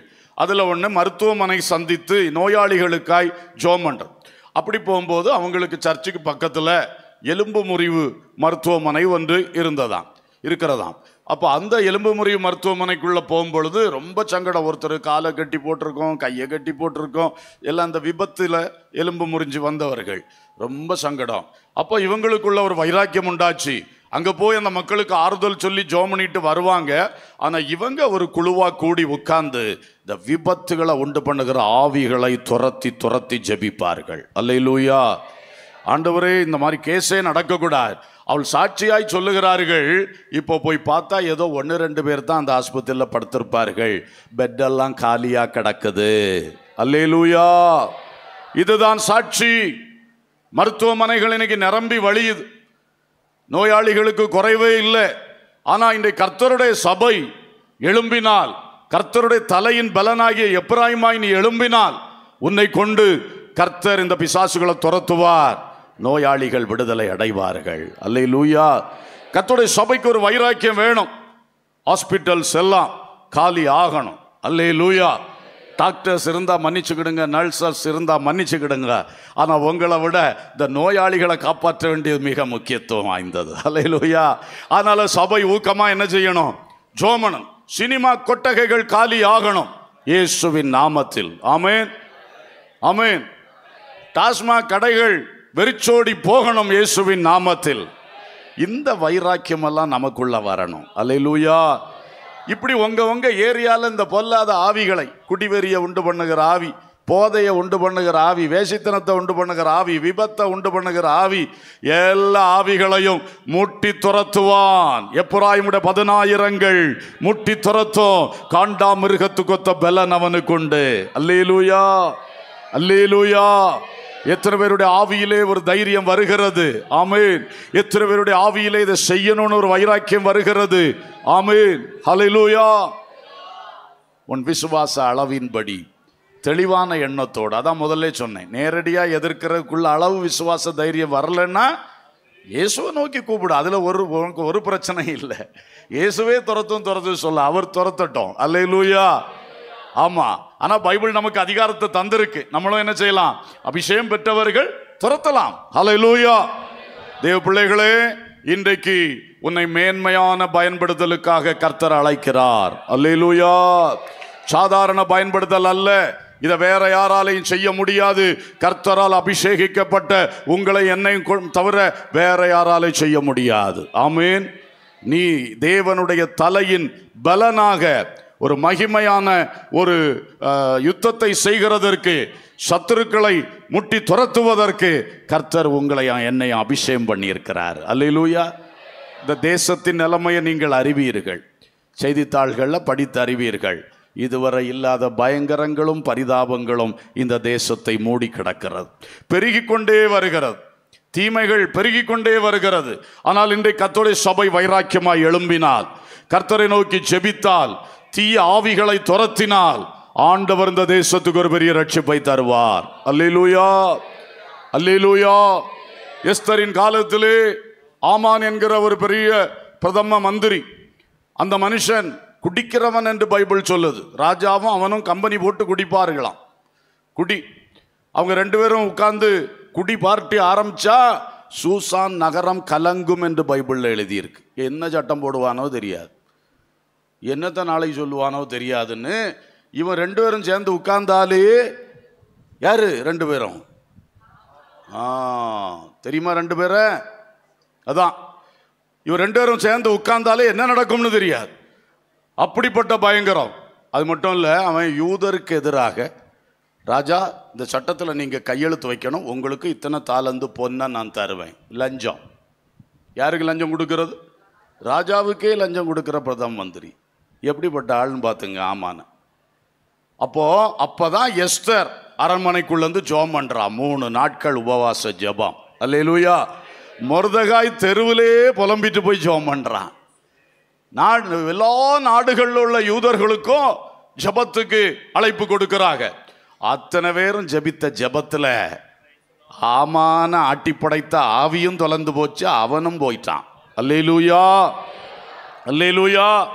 அந்த ஸ்தானத்தில் கர்த்தரால் தெரிந்து கொள்ளப்பட்ட தேவதாசன் மொர்தைகாய் எழும்பி வந்தான். அல்லேலூயா பைபிள் சொல்லுது மொர்தைகாய் ராஜ வஸ்திரம் தரித்து புறப்பட்டான். சூசான் நகரம் களி கூர்ந்தது. அல்லேலூயா ஆமான் காலத்தில் சூசான் நகரம் கலங்கினதுன்னு சொல்லியிருக்கு. முருதைகாய் ராஜவஸ்திரம் தரித்து பதவி ஏற்ற உடனே சூசான் நகரத்துக்கு என்ன வந்துச்சு? கலக்கம் மாறி களி கூறுதல் வந்தது. அல்லேலூயா நம்முடைய தேசத்திற்கு கலக்கம் மாறி களி கூறுதல் வரணும்னா எப்ராயிமே நீதான் தெரிந்து கொள்ளப்பட்ட தேவ பலன். லூயா நீ எழும்பு. நீ எழும்பினால் கர்த்தர் கலக்கத்தை மாற்றி களி கூறச் செய்வார். ஆமேன். சபைகள் எல்லாம் கலக்கம் என்னைக்கு ஐயோ சபை நடத்தாதுன்னு சொல்கிறான் சுவிசேஷ ஊழியம் செய்யாதுன்னு சொல்கிறான் கன்வென்ஷன் நடத்தாதன்னு சொல்கிறான் சர்ச்சு கட்டாதன்னு சொல்கிறான் எல்லா கலக்கங்களும் மாறி களி கூறுதல் வரும்படிக்கு நீயும் நானும் எழும்பி ஆக வேண்டும். அல்லேலூயா இன்னும் நாம் உணர்வு இல்லாமல் என் காரியத்தை பார்த்து நான் போகிறேன் என்னை ஆசீர்வதியும் என் குடும்பத்தை ஆசீர்வதியும் என் பிள்ளை ஆசீர்வதியும் அதை ஆசீர்வதியும் இதை ஆசீர்வதியும்னு போயிட்டு இருந்தா இன்னும் பரிதாபத்துக்குள்ளத்தான் நம்ம போவோம். நாம் எப்பராயுமாக தேவனின் பலனாக எழும்பணும். அல்லூயா அல்லூயா கர்த்தரதை விரும்புகிறார். அடுத்தது என்னன்னா தேவனுடைய தலையின் பலன்னா ஞானம். ஞானம். தலையில் என்ன இருக்குது? மூளை இருக்குது. தலையில் ரெண்டு கொம்பு இல்லையா? பொதுவாக தலையை வச்சு கொம்பு மிருகங்கள் வந்து முட்டி துரத்தும். அது ஒன்று. ரெண்டாவது தலையில் என்ன வச்சுருக்கார் ஆண்டவர்? மூளையை வச்சிருக்கார். ஞானம் ஞானம். கத்தரு ஸ்தோத்தர் நீதிமொழிகள் இருபத்தி ஒன்று இருபத்தி ரெண்டு சொல்லுது. பலவான்களுடைய பட்டணத்தின் மதிலை ஞானமுள்ளவன் ஏறி பிடித்து அவர்கள் நம்பின அரணை இடித்து போடுவான். ஒரு அலுலியா சொல்லுவோம். அப்போ பலத்தினால் மட்டுமல்ல ஞானத்தினால் அதைவிட பெரிய காரியம் செய்யலாம். அல்லேலூயா. பலவான்களுடைய பட்டணத்தின் மதில். அவங்களே பயங்கர பராக்கிரமசாலிகள். அவங்களுடைய பட்டணத்தின் மதிலை யார் கிராஸ் பண்ண முடியும் யார் உள்ள போக முடியும்? ஆனால் ஞானம் உள்ளவன் அதை ஏறி பிடிப்பான். அவன் தன் பலத்தினால் மட்டுமல்ல எதை யூஸ் பண்ணுறான் அவன்? ஞானத்தை யூஸ் பண்ணுறான் ஞானத்தை யூஸ் பண்ணும் பொழுது அவனுக்கு அது லெகுவாய் கைகூடுகிறது அல்லேலூயா. அப்போ தேவ ஞானம் என் தலையின் பலன்னாக்கும் சொன்னார். அப்போ தேவ ஞானம் உலக ஞானம் அல்ல. தேவ ஞானம் தேவன் ஞானத்தை தரும் பொழுது நீ ஈஸியாக யுத்தங்களை ஜெயித்து சத்துருடைய கோட்டைகளாகிய அரண்களை உடைத்து நீ ஜெயம் பெறலாம். அல்லேலூயா. இந்த பைபிளில் நிறைய யுத்தங்களை பற்றி எழுதியிருக்கு. நீங்கள் இந்த தேவ மக்கள் இஸ்ரவேலர் செய்த யுத்தங்களை எல்லாம் நீங்கள் படித்து பார்த்தீங்கன்னா ரொம்ப ஆச்சரியமாக இருக்கும். ஒரு காலத்தில் அதாவது எலிசா காலத்தில் ஒரு யுத்தம் நடந்தது. சீரியர்கள் வந்தார்கள். அப்போ யுத்தத்தை ஆண்டவர் எப்படி ஜெயிக்க வச்சாருன்னா ஒரு சவுண்டு கொடுத்தாரு ஆண்டவர். அந்த சவுண்டிலே ஓடி போயிட்டாங்க. இதெல்லாம் படித்து பார்த்தா ஆச்சரியமாக இருக்கும். இஸ்ரவேலர்கள் அவங்களை எதுக்கிறதுக்கு படையெல்லாம் ரெடி பண்ணி போகிறதுக்கு முன்னாடியே ஆண்டவர் ஒரு சத்தத்தை அவங்க காதுகளில் தொனிக்க பண்ணாரு ஓடிட்டாங்க. என்ன சத்தம் தெரியுமா? குதிரைகளுடைய ரதங்களுடைய இரைச்சல் சத்தத்தை காதில் ஊதி விட்டார். ஒரு குதிரையும் வரல ஒரு ரதமும் வரல ஒரு சத்தத்தை தான் ஆண்டவர் கொடுத்தாரு ஓடியே போயிட்டான். போனவனும் சாதாப்பட்டவன் இல்லை சீரிய படை பயங்கர படை. அலையலூயா அதான் பலவான்களுடைய பட்டணத்தின் அரணை ஞானமுள்ளவன் என்ன செய்வான்? ஏறி பிடிப்பான். அல்லேலூயா. என்ன ஞானம்? தேவ ஞானம். யுத்தங்களில் ஆண்டவரை நோக்கி பார்த்து ஆண்டவருடைய ஆலோசனையை கேட்டு எந்த ராஜா முன்ன போனானோ அவன் தோற்றதே கிடையாது. அல்லேலூயா. ஆண்டவர்கிட்ட ஆலோசனை கேட்காம ஒருக்கா யோசுவா போனான் ஆயில. அங்கதான் தோல்வி வந்தது. ஆண்டவர்கிட்ட கேட்டு அவருடைய ஞான ஆலோசனையின்படி யுத்தத்துக்கு போனவன் ஈஸியா ஜெயிப்பான் அல்லேலூயா. இன்னொரு தடவை ஒரு சத்துரு கூட்டம் பயங்கரமான கூட்டம் பெரிய திரள் கூட்டம் வந்து கிடக்கிறது. இந்த தேவ ஜனங்கள் அதை எதிர்க்கிறதுக்கு ஆயத்தமாகறாங்க. அதுக்கு முன்னாடி காலையில் விடிந்து சூரிய ஒளி வரும்பொழுதே அத்தனை பேரும் ஓடி போயிட்டான். என்ன விஷயம்னு கேட்டால் அங்கே ஒரு தண்ணி பாஞ்சு போயிட்டே இருக்குது அந்த தண்ணியில் இந்த இளம் சூரியனுடைய லைட் அந்த வெளிச்சம் கிடச்சோடனே ரத்தம் மாதிரி தெரியுது. இவன் காலில் எழும்பி பார்க்குறான் ஏய் ரத்தம் ஆறா ஓடுது. அவ்வளோதான் ஓடிடுவோன்ட்டு எல்லாவனும் ஓடிட்டான். அல்லேலூயா. உங்களுக்கு புரியுதா நான் சொல்கிறதெல்லாம் கர்த்தர் எப்படி துரத்துறாரு பார்த்தீங்களா அதான் பலம் மட்டுமல்ல ஞானம். அல்லேலூயா. தேவ கிரியை அங்கே வெளிப்படும் பொழுது ஆச்சரியமாக இருக்கும். அப்போ ஆண்டவர் சத்தத்தை கொடுத்தும் விரட்டிடுவார் சில வேளை ஒரு காட்சியை காட்டியும் என்ன பண்ணிடுவாரு விரட்டிடுவாரு அது மட்டும் இல்லை யோசுவா. எத்தனையோ ராஜாக்களோடு யுத்தம் பண்ணால் யோசுவா புத்தகத்தில் ஒரு காரியம் எழுதியிருக்கு. ஒரு முறை இவன் போக முன்னாடியே ஒரு குரூப் ஓடி போச்சு என்னன்னு கேட்டால் குளவிகளை கர்த்தர் இந்த படைக்கு முன்னால் என்ன பண்ணாராம்? அனுப்பினார். யார? கூ கீழே. ஆ. குளவிகளை கர்த்தர் இந்த யோசுவா படைக்கு முன்னாடி என்ன பண்ணார்? அனுப்பினாராம். குளவின்னா இங்கே என்ன சொல்லுவீங்க? வெட் கொட்டுப்பூச்சி ஆ? குளவிதானா எங்கள் ஊரில் வேட்டுவாளியும்பா எங்கள் ஊர் கொஞ்சம் டிஃப்ரெண்ட்டு எல்லாத்துக்கும் வேறு பேர் வச்சிருப்பார். வேட்டுவாளியும்பார்கள் அப்படி கடந்தன்னு சொல்லுவாங்க. கத்தருக்கு சொ ஏதோ கொட்டுப்பூச்சி பயங்கரமான பூச்சி. இந்த பூச்சியை ஆண்டவர் அனுப்பி யோசுவா அங்கே போய் யுத்தம் பண்ண வேண்டியதே இல்லை அதுக்கு முன்னாடியே ஓடி போயிட்டானு. அல்லூயா இதுதான் தேவன் எதிரிகளை முட்டாளாக்கி போடுவார். ஆமே அவன் பெரிய ஞானம் காட்டட்டும். என் கையில் எல்லாத்தையும் அடக்கி வச்சுட்டேன்னு சொல்லட்டும். ஒரு இமைப்பொழுதில் துரத்தி போடுவார். அலலூயா தேவ மக்களே நாம் கர்த்தருடைய பாதத்திலே காத்திருக்க ஆயத்தமா? செபிக்க ஆயத்தமா? முழங்கால் போட ஆயத்தமா? கர்த்தருடைய ஆலோசனை கேட்க ஆயத்தமா? கண்டிப்பா உங்க குடும்பத்தின் யுத்தங்களையும் ஜெயிப்பீங்க. தேசத்தின் யுத்தங்களையும் ஜெயிப்போம். அல்லேலூயா. பிசாசோடு உள்ள சகல யுத்தங்களையும் நீங்க ஜெயிக்க முடியும். தேவ பலத்தினாலும் தேவ ஞானத்தினாலும். ரெண்டும் வேணும் ரெண்டும் வேணும். ரொம்ப பலம் இருக்கு ஆனால் நான் முட்டாளா இருக்கேன்னா அது எப்படி? முட்டாளாக இருக்கேன் பிறகு சத்துரு அங்கே நிப்பா நீ இங்கே யுத்தம் பண்ண போயிட்டு இருப்ப உனக்கு ஞானம் வேணும்ல? பலம் இருந்தால் மட்டும் போதாதுல்ல? ஆகையினாலே கர்த்தர் தேவ பலனாக அந்த அவருடைய தலையின் பலன் சொன்னார் அதுதான் அந்த தேவனுடைய பராக்கிரமும் தேவனுடைய ஞானம். அல்லேலூயா. ஞானத்தினால் ஜெயிப்பது மிக எளிது. அதற்கு கத்தருடைய கிருபை நமக்கு வேணும். தேவ ஆலோசனை பெறணும் ஒரு முறை தாவியது பெலிஸ்தருக்கு எதிராக யுத்தத்துக்கு புறப்பட்ட பொழுது தாவிது ஒவ்வொரு முறையும் கத்தட்ட கேட்காம போக மாட்டான். கத்த சொல்கிறபடி செய்வான். ஒரு முறை ஆண்டவர் சொன்னார் நீ போ போய் அங்கே அந்த முசுக்கட்டை செடிகளுக்கு இடையில போய் ஒழிச்சுக்கிட்டு இரு. உங்கள் படையெல்லாம் ஒழிச்சிருக்கணும் முசுக்கட்டை செடி மல்பரி செடி அதுக்கு இடையில போய் உட்காந்துரு அப்படியே திடீர்னு ஒரு காற்று வீசும். அந்த மல்பரி செடிகளுக்கு இடையில் முசுக்கட்டை செடிகளின் நுனியிலே ஒரு இரைச்சல் கேட்கும். அப்போ நான் கடந்து போகிறேன் என்ற அர்த்தம். உடனே நீ புறப்பட்டு என்னை பின் ஃபாலோ பண்ணி வரணும். அழகான ஒரு ஆலோசனை. மகனே எனக்கு முந்தியும் நீ போயிடக்கூடாது. எனக்கு பிந்தியும் நீ வரக்கூடாது. அந்த சத்தத்தை கவனமாக கேட்டுக்கிட்டே இரு. முசுக்கட்டை செடிகளுடைய நுனியில் ஒரு சத்தம் கேட்கும் அந்த சத்தம் கேட்டோன்னே டக்குன்னு எழும்பிப்போ நான் உனக்கு முன்ன அங்கே போவேன். யுத்தம் ஜெயிக்கும். அல்லேலூயா ஆண்டவருடைய ஞான ஆலோசனைகள் ஆச்சரியமானவைகள். ஆனால் சத்துருவை வேறு முட்டாளாக்கி தோத்து கடிச்சு போடுவார். அல்லையிலூயா இன்னைக்கு அன்பானவர்களே உங்களுக்கு விரோதமாக யார் செயல்படுறா? தனிப்பட்ட முறையில் உங்கள் வாழ்க்கைக்கு விரோதமாக வேலை ஸ்தலத்தில் உங்களுடைய ப்ரமோஷன் உங்களுடைய நல்ல காரியத்துக்கு எதிராக உன் பிள்ளைக்கு எதிராக குடும்பத்துக்கு எதிராக அல்ல உங்களுடைய பொருளாதாரத்துக்கு எதிராக உன் தோட்டத்துக்கு எதிராக வாகனத்துக்கு எதிராக எதுக்கு எதிராக எவன் செயல்பட்டாலும் பயப்படாத. அவனை நீங்கள் பார்க்காதீங்க. அவன் பின்னால இருந்து உன்னோடு மோதுகிற அசுத்த ஆவியை நீ பார். புரியுதா உங்களுக்கு? ஆமாம் ஏன்னா அதை நம்ம துரத்துனா தான் நமக்கு முழு ஜெயம். இப்போ இன்னைக்கு ஒருத்தன் எழும்பி வருவான். அவன்கிட்ட போய் மோதிக்கிட்டு கிடந்து அவனை இது பண்ணால் நாளைக்கு இன்னொருத்தன் எழும்புவான். ஏன்னா அவன் பின்னால் இருக்கிற அந்த ஆவி பொல்லாத ஆவி அது இன்னைக்கு இவனை ஒரு கருவியாக எடுத்து உனக்கு எதிராக நிறுத்தும். நீ இவனை தட்டி தள்ளிட்டியன்னா இன்னொருத்தன்ட்ட போய் அவனை அவனிலும் பலவான ஒருத்தனை உனக்கு நேராக என்ன செய்யும்?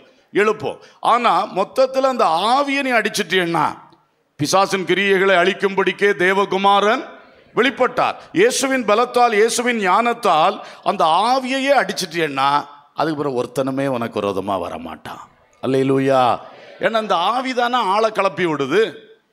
இந்த ஆவிக்குரிய கண்ணோட்டம் வந்தால் இந்த தெய்வீக சத்தியத்தின் அறிவு நமக்குள் கிரிய செய்ய ஆரம்பிச்சிருச்சுன்னா இன்னைக்கு நீங்க ஒரு பெரிய ஜெயம் சிறந்தவளா மாறிடுவீங்க. அல்லேலூயா. மனுஷ யுத்தங்களை மாம்ச யுத்தங்களாய் பாராதபடி அந்த மனுஷனுக்கு பின்னால் இருந்து கிரிய செய்யக்கூடிய ஆவி அந்த ஆவிக்கு பிசாசுக்கு விரோதமாக யுத்தம் பண்ணு. அதுதான் உனக்கு பெரிய ஜெயத்தை கொண்டு வரும். அல்லேலூயா. சரியான ஜெயத்தை கொண்டு வரும். ஒரு அடி அடிச்சு போடு பார்ப்போம் அந்த பிசாசை. கொஞ்ச காலத்துக்கு ஒரு தொல்லமை இருக்காது. அல்லே லூயா ஸ்தோத்திரம். ஆகவே தேவ பிள்ளைகளே மனுஷனோடு யுத்தம் பண்ணாதீங்க. அசுத்த ஆவிகளோடு யுத்தம் பண்ணுங்க. அதான் முக்கியம். நான் முன்னாடி சொல்லியிருப்பேன்னு நினைக்கிறேன். இருந்தாலும் சொல்கிறேன் கழுகு சர்ப்பத்தோடு பாம்போடு யுத்தம் பண்ணும்போது தரையில் இறங்கி யுத்தம் பண்ணாதான். ஏன்னா பாம்பு தரையில் பலசாலி. கழுகு தரையில் நின்று பாம்போட யுத்தம் பண்ணால் பாம்பு அதை சுருட்டி பிடிச்சிரும். கொத்தி கொன்று போடும். அதனால் இந்த கழுகு என்ன செய்யுமா? கனமாக பார்த்துருந்துட்டு பாம்பு அடியே ஊந்துட்டு பொழுது சடனாக வரும். டக்குன்னு தன்னுடைய ரெண்டு கால்கள் அதை ம தூக்கும். தூக்கின வேகத்தில் மேலே கொண்டு போயிடும் இந்த பாம்பு இது வரைக்கும் ஆகாயத்துக்கு போனதும் இல்லை. ஒரு அடி கூட மேலே உயர்ந்து அந்த மேலே எழும்புனது கிடையாது. வாழ்க்கையில் சறுக்குன்னு வந்து ஒரு தூக்கி தூக்கணும் மயங்கிடும் மயங்கி இருக்கிறத கொண்டு ஒரு கண்மலையின் மேலே போட்டால் செத்து செத்தது போல கிடக்கும். கொத்தி கொத்தி தின்னு போடும். பார்த்தீங்களா கழுகுடைய யுத்தம் எப்படிப்பட்ட யுத்தமாக இருக்குது கழுகு தரையில் இறங்கி யுத்தம் பண்ணாது தன்னுடைய யுத்தத்தை வானத்துக்கு எடுத்துகிட்டு போயிடும் உயரத்துக்கு உன்னதத்துக்கு எடுத்துகிட்டு போயிடும் இதுதான் நம்ம யுத்தம். தரையில் இறங்கி மனுஷனோட போராடக்கூடாது. வாக்கிவா போராடக்கூடாது கைக்கு கை போராடக்கூடாது. அது நம்முடைய யுத்தம் அல்ல. நம்ம எந்த மனுஷன் எந்த ஒரு கூட்டம் மனுஷர்கள் எது வந்தாலும் மந்திரவாதி மதவாதி யார் எதிர்த்து வந்தாலும் உடனே அந்த யுத்தத்தை நம்முடைய ஜப அறைக்கு கொண்டு போனோம். எங்க கொண்டு போனோம்? சொல்லுங்க எல்லாரும். யுத்தத்தை எங்க கொண்டு போனோம்? ஆ சத்ரு அப்படியே பிடிச்சு தூக்கி கொண்டு போற மாதிரி நேராக உடனே எங்க போயிடணும் முழங்கால் போடணும். முழங்கால் போட்டு அந்த பொல்லாத ஆவியக்கு எதிராக நீங்கள் ஜெபித்தால் முழு ஜெயம் உங்களுக்கு வரும். அல்ல லூயா எனவே தேவ மக்களே இன்றைக்கு கர்த்த கர்த்த சொன்னார் எப்புராயிம் என் தலையின் பலன். அந்த தேவனுடைய பலனாகிய பராக்கிரம் தேவனுடைய ஞானமாகிய ஜெயத்தின் அந்த திட்டம் அதெல்லாம் நமக்கு கிடைக்கும். கடைசியாக ஒன்று சொல்லி முடிக்கிறேன். ஆகாய் தீர்க்க தரிசன புத்தகம். இந்த வசனத்தை வாசிங்க. ஆகாய் இரண்டாம் அதிகாரம் இருபத்தி மூன்றாவது வசனத்தை மைக்கில் வாசியுங்கள்.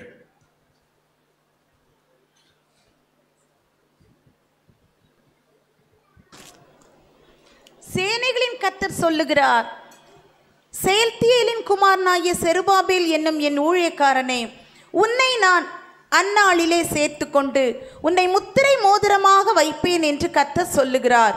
நான் உன்னை தெரிந்து கொண்டேன் என்று சேனைகளின் கத்தர் சொல்லுகிறார் என்று சொல் என்றார். அலேலுயா எப்புராயிம் என் தலையின் பலன் என்று சொன்னது போல செருபாபேல் என் முத்திரை மோதிரம் என்று சொல்லுகிறார். ஆமென். செருபாபேல் என் சொல்லுங்களேன் கொஞ்சம். சொன்னாத்தானே உங்களுக்கு மனசுல பதியும் பிரயோஜனப்படும்.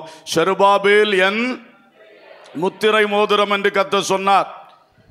அப்போ இங்கே இதுவும் ஒரு மேன்மையான பயன்படுதல் மேன்மையான பயன்படுதல். முத்திரை மோதிரம்னா என்ன? இந்த காலத்தில் இந்த ரப்பர் ஸ்டாம்ப் இருக்குது பார்த்தீங்களா சீல் ஒவ்வொரு ஆஃபீஸில் சர்டிஃபிகேட் தந்தால் அந்த அதிகாரியுடைய கையெழுத்தும் போடுவார். கூடவே அந்த அலுவலகத்தினுடைய முத்திரை பதிப்பாங்க. அது ரெண்டும் இருந்தால் தான் அது செல்லுபடி ஆகும். அப்போ முத்திரை என்பது ஒரு அதிகாரம்.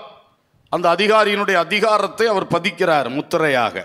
இதே மாதிரி பழைய பழைய காலங்களில் ராஜாக்கள் கையில் ஒரு மோதிரத்தில் அந்த முத்திரை வச்சுருப்பாங்க.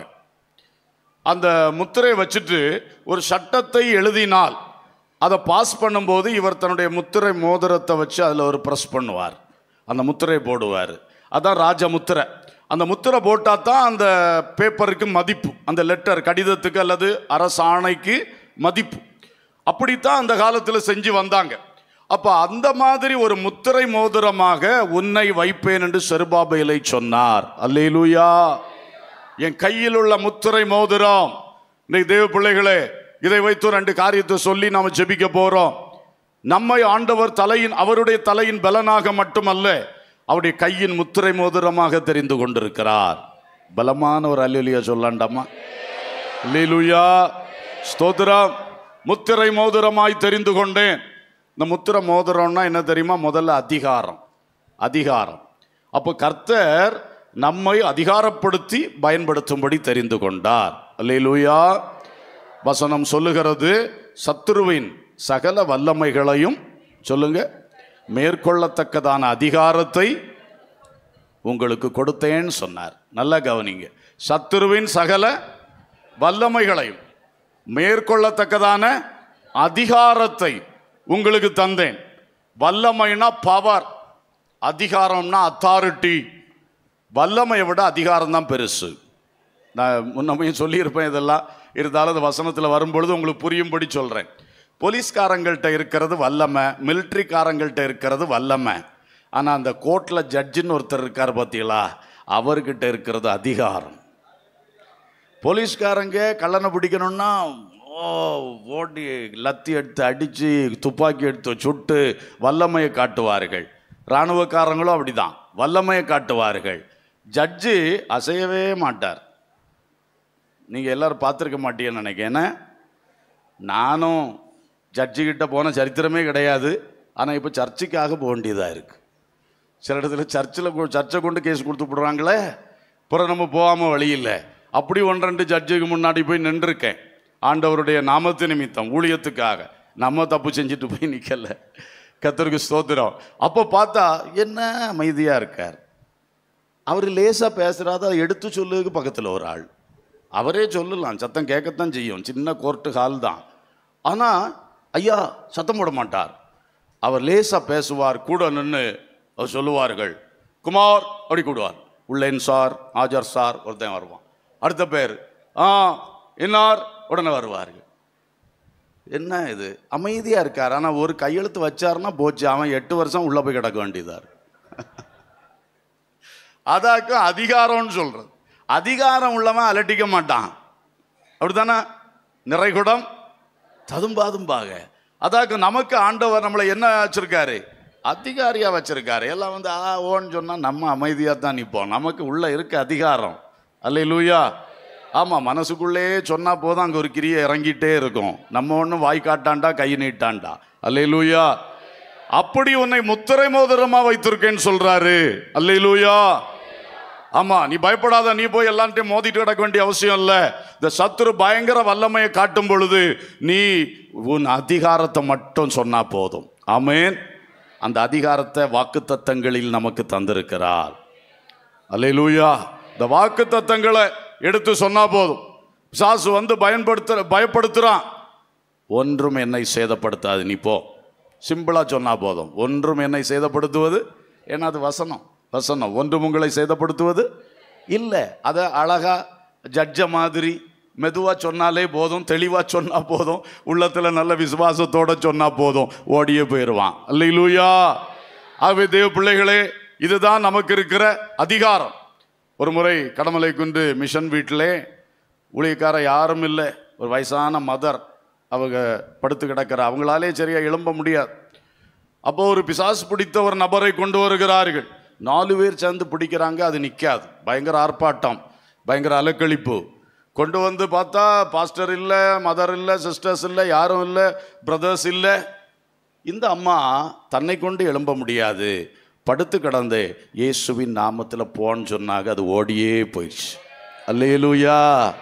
நாலு பராக்கிரமசாலிகள் சேர்ந்து பிடிச்சு கொண்டு வராங்க. இந்த அம்மா தனக்கே எழும்ப முடியாம சரீரத்தில் பலவீனத்தோடு படுத்திருக்கிறார்கள். அவ வல்லமை இல்லை ஆனா உள்ளுக்கு என்ன இருக்குது?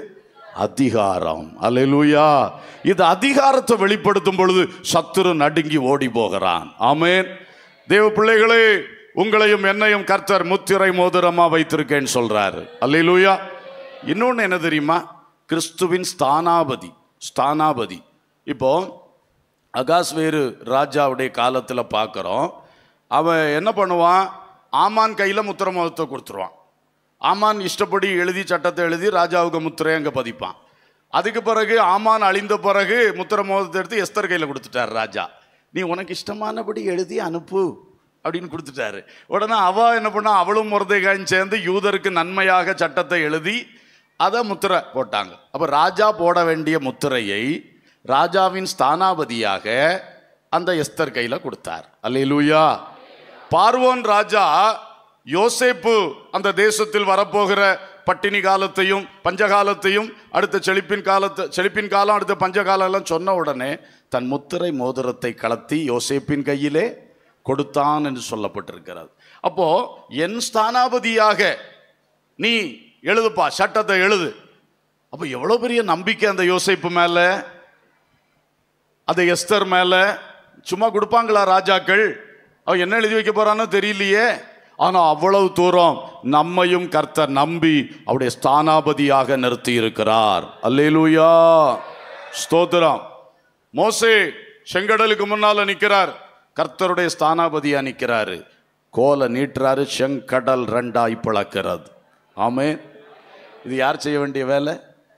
கர்த்தர் செய்ய வேண்டிய வேலை. அவர் ஸ்தானாபதியாகிய மோசையை நிறுத்தி நீ நீட்டுப்பா கையை. கோலை நீட்டு அது பழக்கங்கிறாரு அவன் அவருடைய ஸ்தானாபதியா நின்று செய்கிறான். கர்த்தருடைய அதிகாரத்தை பயன்படுத்துகிற ஒரு ஸ்தானாபதி. அல்லேலூயா. கற்பாறை அடி தண்ணி புற புறப்படும். நீங்கள் போய் அடித்து பாருங்க. கம்பு உடையுமே தவிர ஆ? அவன் அவருடைய ஸ்தானாபதியாக நின்று செய்கிறான் அடித்த உடனே தண்ணி என்ன செய்தாச்சு? ஆறு லட்சத்துக்கு மேலே ஜனங்கள் குடிக்க தண்ணி புறப்படுது. அல்லையிலூயா யோசுவா புதுசாக பொறுப்படுத்திருக்கிறாரு யோர்தான் நதிக்கு முன்னால் நிற்கிறாரு செங்கடலை பார்த்தாரு. அது கொஞ்சம் அமைதியாக இருந்தது. இது எப்படி ஓடுது? பிரவாகித்து ஓடுகிற யோர்தான் நதி. பயப்படாத ஆசாரியர்களை உடன்படிக்கப்பட்டிய தலையில் எடுத்துட்டு தோளில் எடுத்துட்டு காலை அங்கே வைக்க சொல்லு. வச்ச உடனே யோர்தான் பிளந்தது. அல்லேலூயா. அந்த ஆசாரியருடைய காலில் என்ன இருக்கு? கர்த்தருடைய ஸ்தானாபதியாக அங்கே காலை வச்சான். அல்லேலூயா. தேவ ஊழியர்களே நம்ம தான் உடன்படிக்கை சுமக்கிற ஆசாரியர்கள்.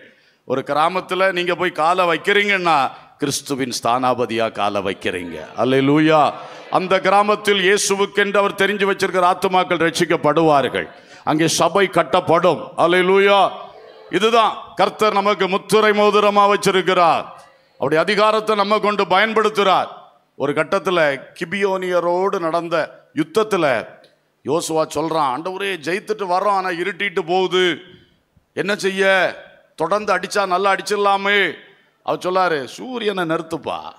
சூரியனை நிறுத்துப்பா. அப்படின்னு கத்தருக்கு கர்த்தருக்கு ஸ்தோத்திரம். அவன் சூரியனுக்கு கட்டளை கொடுத்தான். அப்படியே நின்றுச்சு அல்லையிலூயா இதெல்லாம் சும்மா செய்ய முடியுமா? ஐஎஸ்ஆர்ஓ சயின்டிஸ்ட் சூரியனை நிறுத்த முடியுமா? இது கர்த்தருடைய ஸ்தானாபதியாக நின்று செய்கிற வேலைகள். இது மாதிரி இதைவிட பெரிய காரியங்களை கர்த்தர் இன்றைக்கும் செய்ய வல்லவராய் இருக்கிறார். அல்லேலூயா. செருபாபேல் உன்னை முத்திரை மோதிரமா வைத்தேன். இது யாரு செருபாபேல்? என்ன செஞ்சார் இவர்?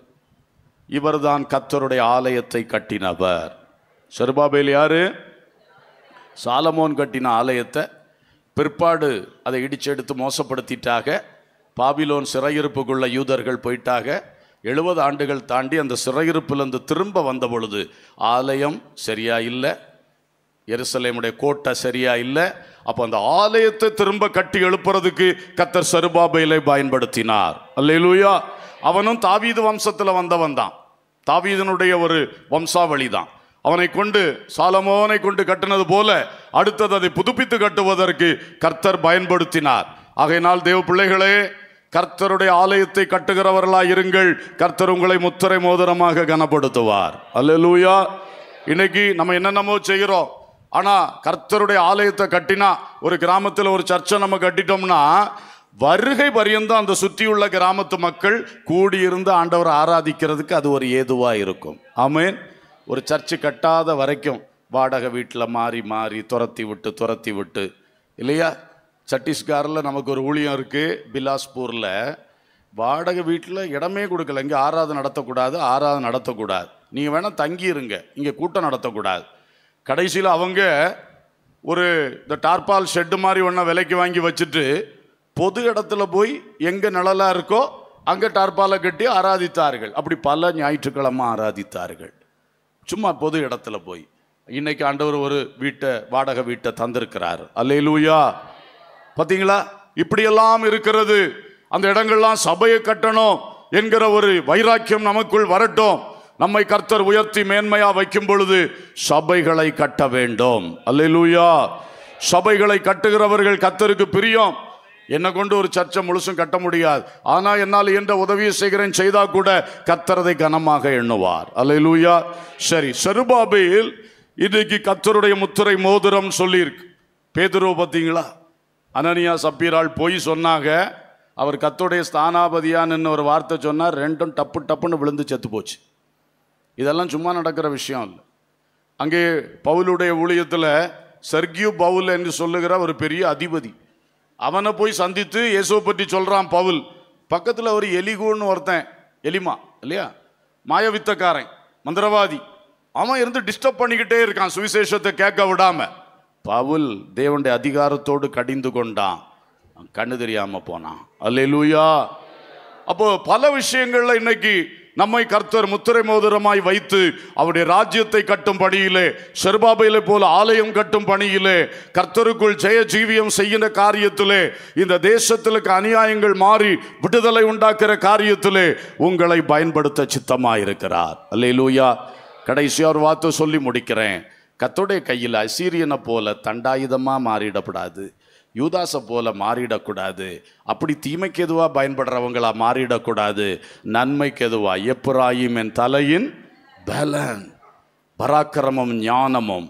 அதே மாதிரி செருபாபேல் என்னுடைய முத்திரை மோதிரம். அவனுக்கு அதிகாரம் அவனுக்கு என்னுடைய பிரதிநிதித்துவம் பிரதிநிதித்துவம் என் ஸ்தானாபதி. இந்த ஆசீர்வாதங்களை கர்த்தர் கொடுக்கிறார். எல்லாரும் ஜோம் பண்ணலாமா? ஒரு ஐந்து பத்து நிமிடங்கள் கர்த்தரை நாம் எல்லாரும் நோக்கி பார்க்கலாம். ஆமேன். ஒரு ஆசையோடு ஒரு வைராக்கியத்தோடு ஆவியின் ஒரு வைராக்கியத்தோடு எல்லாரும் முழங்கால் படியிடுவோம். ஆமேன். ஹலலூயா ஜெபத்துக்கு ஆயத்தமாங்க அங்கங்கே வேடிக்கை பார்க்காதீங்க. இடையில எழும்பி மற்றவங்கள டிஸ்டர்ப் பண்ணாதீங்க. எல்லாரும் கண்களை மூடி வாய் திறந்து ஸ்தோத்திரங்கள் ஏறெடுப்பீர்களாக. சத்தமாக ஸ்தோத்திரம் பண்ணுவோம் ஸ்தோத்திரம் பண்ணுவோம். நல்லா சோத்திரம் பண்ணுங்க. நான் சொல்லுகிற அந்த காரியங்களை வாய் திறந்து சொல்லி ஜோம் பண்ணுங்க. அது உங்களுக்கு ஒரு பெரிய ஆசீர்வாதமாய் பலனாய் மாறும். வாலிபர்களே பெரியவர்களே எல்லாருக்கும் இந்த செய்தி சொந்தமானது. ஆமேன். யாருக்கோ சொன்ன செய்தி அல்ல. உங்களுக்கு உங்களுக்கு உனக்கு சொல்லப்பட்ட செய்தி. கர்த்தர் உன்னை கொண்டு அப்படி செய்ய சித்தமாக இருக்கிறார். ஹalleluya. லூயா பண்ணுங்க வாய் திறந்து கேளுங்க. ஆண்டவரே நான் அசீரியனா மாறிடக்கூடாது. ஆமேன் ஆமேன். நான் யூதாச போல மாறிடக்கூடாதப்பா. ஒரு வார்த்தை சொல்லி ஜோம் பண்ணுங்க. ஆண்டவரே அந்த நிர்பந்தம் வந்துடவே கூடாது. ஒருபோதும் வரக்கூடாது. ஒருபோதும் வரக்கூடாது. ஹalleluya ஹalleluya லூயா என் சுபாவத்தை திருத்துங்கப்பான்னு சொல்லுங்க. ஒவ்வொருத்தரும் கேளுங்க. ஆண்டவர்கிட்ட கேளுங்க. என் சுபாவத்தை திருத்துங்க. என் சுபாவத்தை நாளுக்கு நாள் திருத்துங்க. நாளுக்கு நாள் நான் புதுப்பிக்கப்படணும். புதுப்பிக்கப்படணும். உள்ளான மனிதன் நாளுக்கு நாள் புதுப்பிக்கப்படணும். என் சுபாவம் நாளுக்கு நாள் மாறணும். ஜென்ம சுபாவத்தை சுமந்துக்கிட்டு வெளியே தேவபக்தியின் வேஷத்தை காட்டி தெரியக்கூடாது. இயேசுவே எனக்குள் சீர்திருத்தத்தை தாரம் ஒருபோதும் வழி தப்பி போகாதபடி. ஆமையின் ஸ்தோத்திரம். தவறா பயன்படுத்தப்படுவதற்கு ஏதுவாகி விடாதபடி என்னை காத்துக்கொள்ளும் என்னை காத்துக்கொள்ளும். என் என்னை கிருபா பாத்திரமா தெரிந்து கொண்டீங்க. மகிமைக்கென்று என்ன தெரிந்து கொண்டீங்க. கடைசி மூச்சு வர நான் கிருபா பாத்திரமாவே வாழணும். நான் மகிமைக்கென்று வாழணும். தேவ மகிமைக்கென்று வாழணும். ஹalleluya ஹalleluya நான் உம்முடைய தலையின் பலனாக. எப்புராயிம் என் தலையின் பலன் என்று சொன்னீரே. இந்த வார்த்தைகளை சொல்லுங்க சொல்லுங்க சொல்லுங்க. நல்லா சொல்லி சொல்லி ஜோம் பண்ணும்பொழுது உங்களுக்குள் அந்த கிரியை ஸ்டார்ட் ஆகிவிடும். கத்தர் ஒரு கிரியை செய்வார். ஆண்டவரை எப்புராயிம் என் தலையின் பலன் என்று சொன்னீரே அப்பா. ஓ எனக்குள் அந்த ஆவியின் பலனை தருகிறதற்காய் ஸ்தோத்திரம் ஆமீன் தேவ ஞானத்தை தருகிறதற்காய் ஸ்தோத்திரம் பரிசுத்த ஆவியின் மூலம் பலன் பரிசுத்த ஆவி ஆவியின் மூலம் ஞானம் இவைகளை கர்த்தர் நமக்குள் வைத்திருக்கிறார். ஆமீன். அது நமக்குள்ள இருந்து செயல்படட்டும். நமக்குள்ள இருந்து செயல்படட்டும். லூயா அதுக்கு மேல செருபாபையிலே உன்னை முத்திரை மோதிரமாக வைத்திருக்கிறேன் சொன்னாரு. அந்த தேவ அதிகாரம். லூயா கர்த்தருடைய ஸ்தானாபதி என்கிற அந்த அந்த பொசிஷன் அந்த பதவி எவ்வளவு மகிமையானது மகிமையானது. ஹalleluya லூயா உன் ஊருக்கு நீதான் கிறிஸ்துவின் ஸ்தானாபதி. உன் தெருவுக்கு நீதான் கிறிஸ்துவின் ஸ்தானாபதி. உன் குடும்பத்துக்கு நீதான் கிறிஸ்துவின் ஸ்தானாபதி. ஆமையில் கர்த்தர் உன்னை முத்துரை மோதிரமாய் தெரிந்து கொண்டா நீ ஒருவேளை ஐயோ என்னெல்லாம் கொண்டு என்ன கொண்டு இதெல்லாம் நடக்குமான்னு நினைக்கலாம். ஒன்றுமில்லாதவைகளை கொண்டுதான் கர்த்தர் பெரிய காரியங்களை செய்வா இழிவாக அற்பமாக எண்ணப்பட்டவர்களை கொண்டு கர்த்தர் பெரிய காரியங்களை செய்வா பலவீனரை பலப்படுத்தி பெரிய காரியங்களை செய்வா பேதைகளை ஞானிகளாக்கி கர்த்தர் பெரிய காரியங்களை செய்வார் நீ விசுவாசி இந்த வார்த்தையை அப்படியே உனக்கென்று எடுத்துக்கொள். இயேசுவே நீங்க நினைச்சதை எனக்குள்ள செய்யுங்கன்னு தைரியமா சொல்லுங்க. கர்த்தர் உங்களுக்குள்ளதை நடப்பிப்பா இப்பொழுது நல்ல கரங்களை தட்டி ஆவியில நிரம்பி கொஞ்ச நேரம் பரிசுத்தாவிக்கு இடம் கொடுங்க. பரிசுத்த ஆவியானவர் உங்களுக்குள்ள இறங்கட்டும். உங்களுக்குள்ள அசைவாடட்டும். அவர் செய்ய வேண்டிய கிரியைகளை செய்வதற்கு ஒரு சில நிமிடங்கள் உங்களை மறந்தவர்களாக பரிசுத்த ஆவிக்கு முழுவதும் கொடுத்தவர்களாக அந்நிய பாஷை பெற்றவர்கள் அந்நிய பாஷைகள் பேசி பேசி பேசி கொஞ்சம் இடம் கொடுங்க. ஆவியானவர் வார்த்தையை உள்ளே கொண்டு வருகிறார் வார்த்தையின்படியான கிரியை உள்ளே தொடங்குகிறார் ஒரு பெரிய காரியம் நடக்க போகிறது. உனக்குள் ஒரு தைரியம் வரப்போகிறது. உனக்குள் ஒரு பலன் வரப்போகிறது. இதுவரை பயந்த காரியம் இனி நீ தைரியமா எதிர்கொள்ளுவாய். இதுவரை நீ பதர்ன கலங்கின காரியத்தில் திடனாய் நிற்பாய். அதுதான் தேவ பலன் தேவ பலன் தேவ பலன். பரிசுத்த ஆவியானவர் மூலம் வருகிற தேவ பலன் தேவ ஞானம் தேவ ஞானம் தேவ ஞானம் அந்த டைம்ல ஒரு ஆலோசனை தருவாரு. அந்த ஆலோசனை பற்றி பிடிச்சு நீ செய்யும் பொழுது அற்புதம் நடக்கும். ஜெயம் உண்டாகும். கட்டுகள் உடையும். விடுதலை உண்டாகும். பொல்லாத ஆவிகள் எவ்வளவு பெருசா காட்டினாலும் ஒரு நிமிஷத்துல இல்லாம போகும். ஒரு நிமிஷத்துல இல்லாம போகும். கர்த்தர் உன் பலனாய் இருக்கிறா கர்த்தர் உன் ஞானமாய் இருக்கிறா உன்னை தம்முடைய ஞானமாய் தம்முடைய பலனாய் தெரிந்து கொண்டேன் சொல்றாரு. விசுவாசத்தோட விசுவாசத்தோட. நல்ல அந்நிய பாஷை பேசுங்க. அபிஷேகம் பெற்ற பிள்ளைகள். கொஞ்ச நேரம் நேரம் கூட அப்படியே ஆவியில் நிரம்பி அந்நிய பாஷை பேசி உள்ளத்தை திறந்து ஆவியானவருக்கு கொடுங்க. உள்ளத்தை திறந்து ஆவியானவருக்கு கொடுங்க. பரிசுத்த ஆவியானவருக்கு கொடுங்க. நீ முத்திரை மோதிரம் முத்திரை மோதிரம் முத்திரை மோதிரம் கத்தோடைய அதிகாரத்தை கத்தரும் கையில் கையில தருகிறார் ஆமீன். அவருடைய பிரதிநிதித்துவத்தை உனக்கு தருகிறார் பிரதிநிதித்துவத்தை நீ கத்தோடைய ஸ்தானாபதியாக போகுமிடமெல்லாம் ஒரு கிரிய நடக்க போகிறது. நீயே ஆச்சரியப்படுவாய். நீ சும்மா தான் பேசுவா அது தீர்க்க தரிசனமா அங்க வெளிப்படும். நீ சும்மா தான் ஜோம் பண்ணுவா ஒரு பெரிய அற்புதம் நடக்கும். சும்மா தான் ஒரு ஆலோசனை சொல்லுவாய். அவன் அழுது கிறிஸ்துவை ஏற்றுக்கொள்ளுவார். அப்படிப்பட்ட ஆத்தும ரட்சிப்பின் கிரியைகள் அற்புத அடையாளங்கள் சோர்ந்து போன தளர்ந்து போன பின்மாறி போன ஆத்துமாக்கள் உயிர்ப்பிக்கப்படுகிற அனுபவங்கள் உண்டாகும்.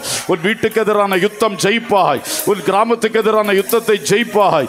பட்டணத்துக்கு எதிரான யுத்தத்தை ஜெயிப்பாய். இந்த தேசத்துக்கு எதிரான பொல்லாத ஆவிகளுடைய யுத்தத்தை நீ ஜெயிப்பாய். சபையே எலும்பு விசுவாசியே எலும்பு தேவ ஊழியக்காரனே எலும்பு உன் மேல் இருக்கிற அபிஷேகம் ஆமீன் புத்தி கட்டாத அபிஷேகம் அறியாததும் எட்டாததுமான காரியங்களை உனக்கு முன்பாக செயல்படுத்துகிற அபிஷேகம். உலப கபர பௌஷதர துர ஹத்துரா நிகந்துரா ஷிபு லதுரி ஹத்சத மகதலா சிக்கா மரியா துனா சிம்பர பௌஷகலா.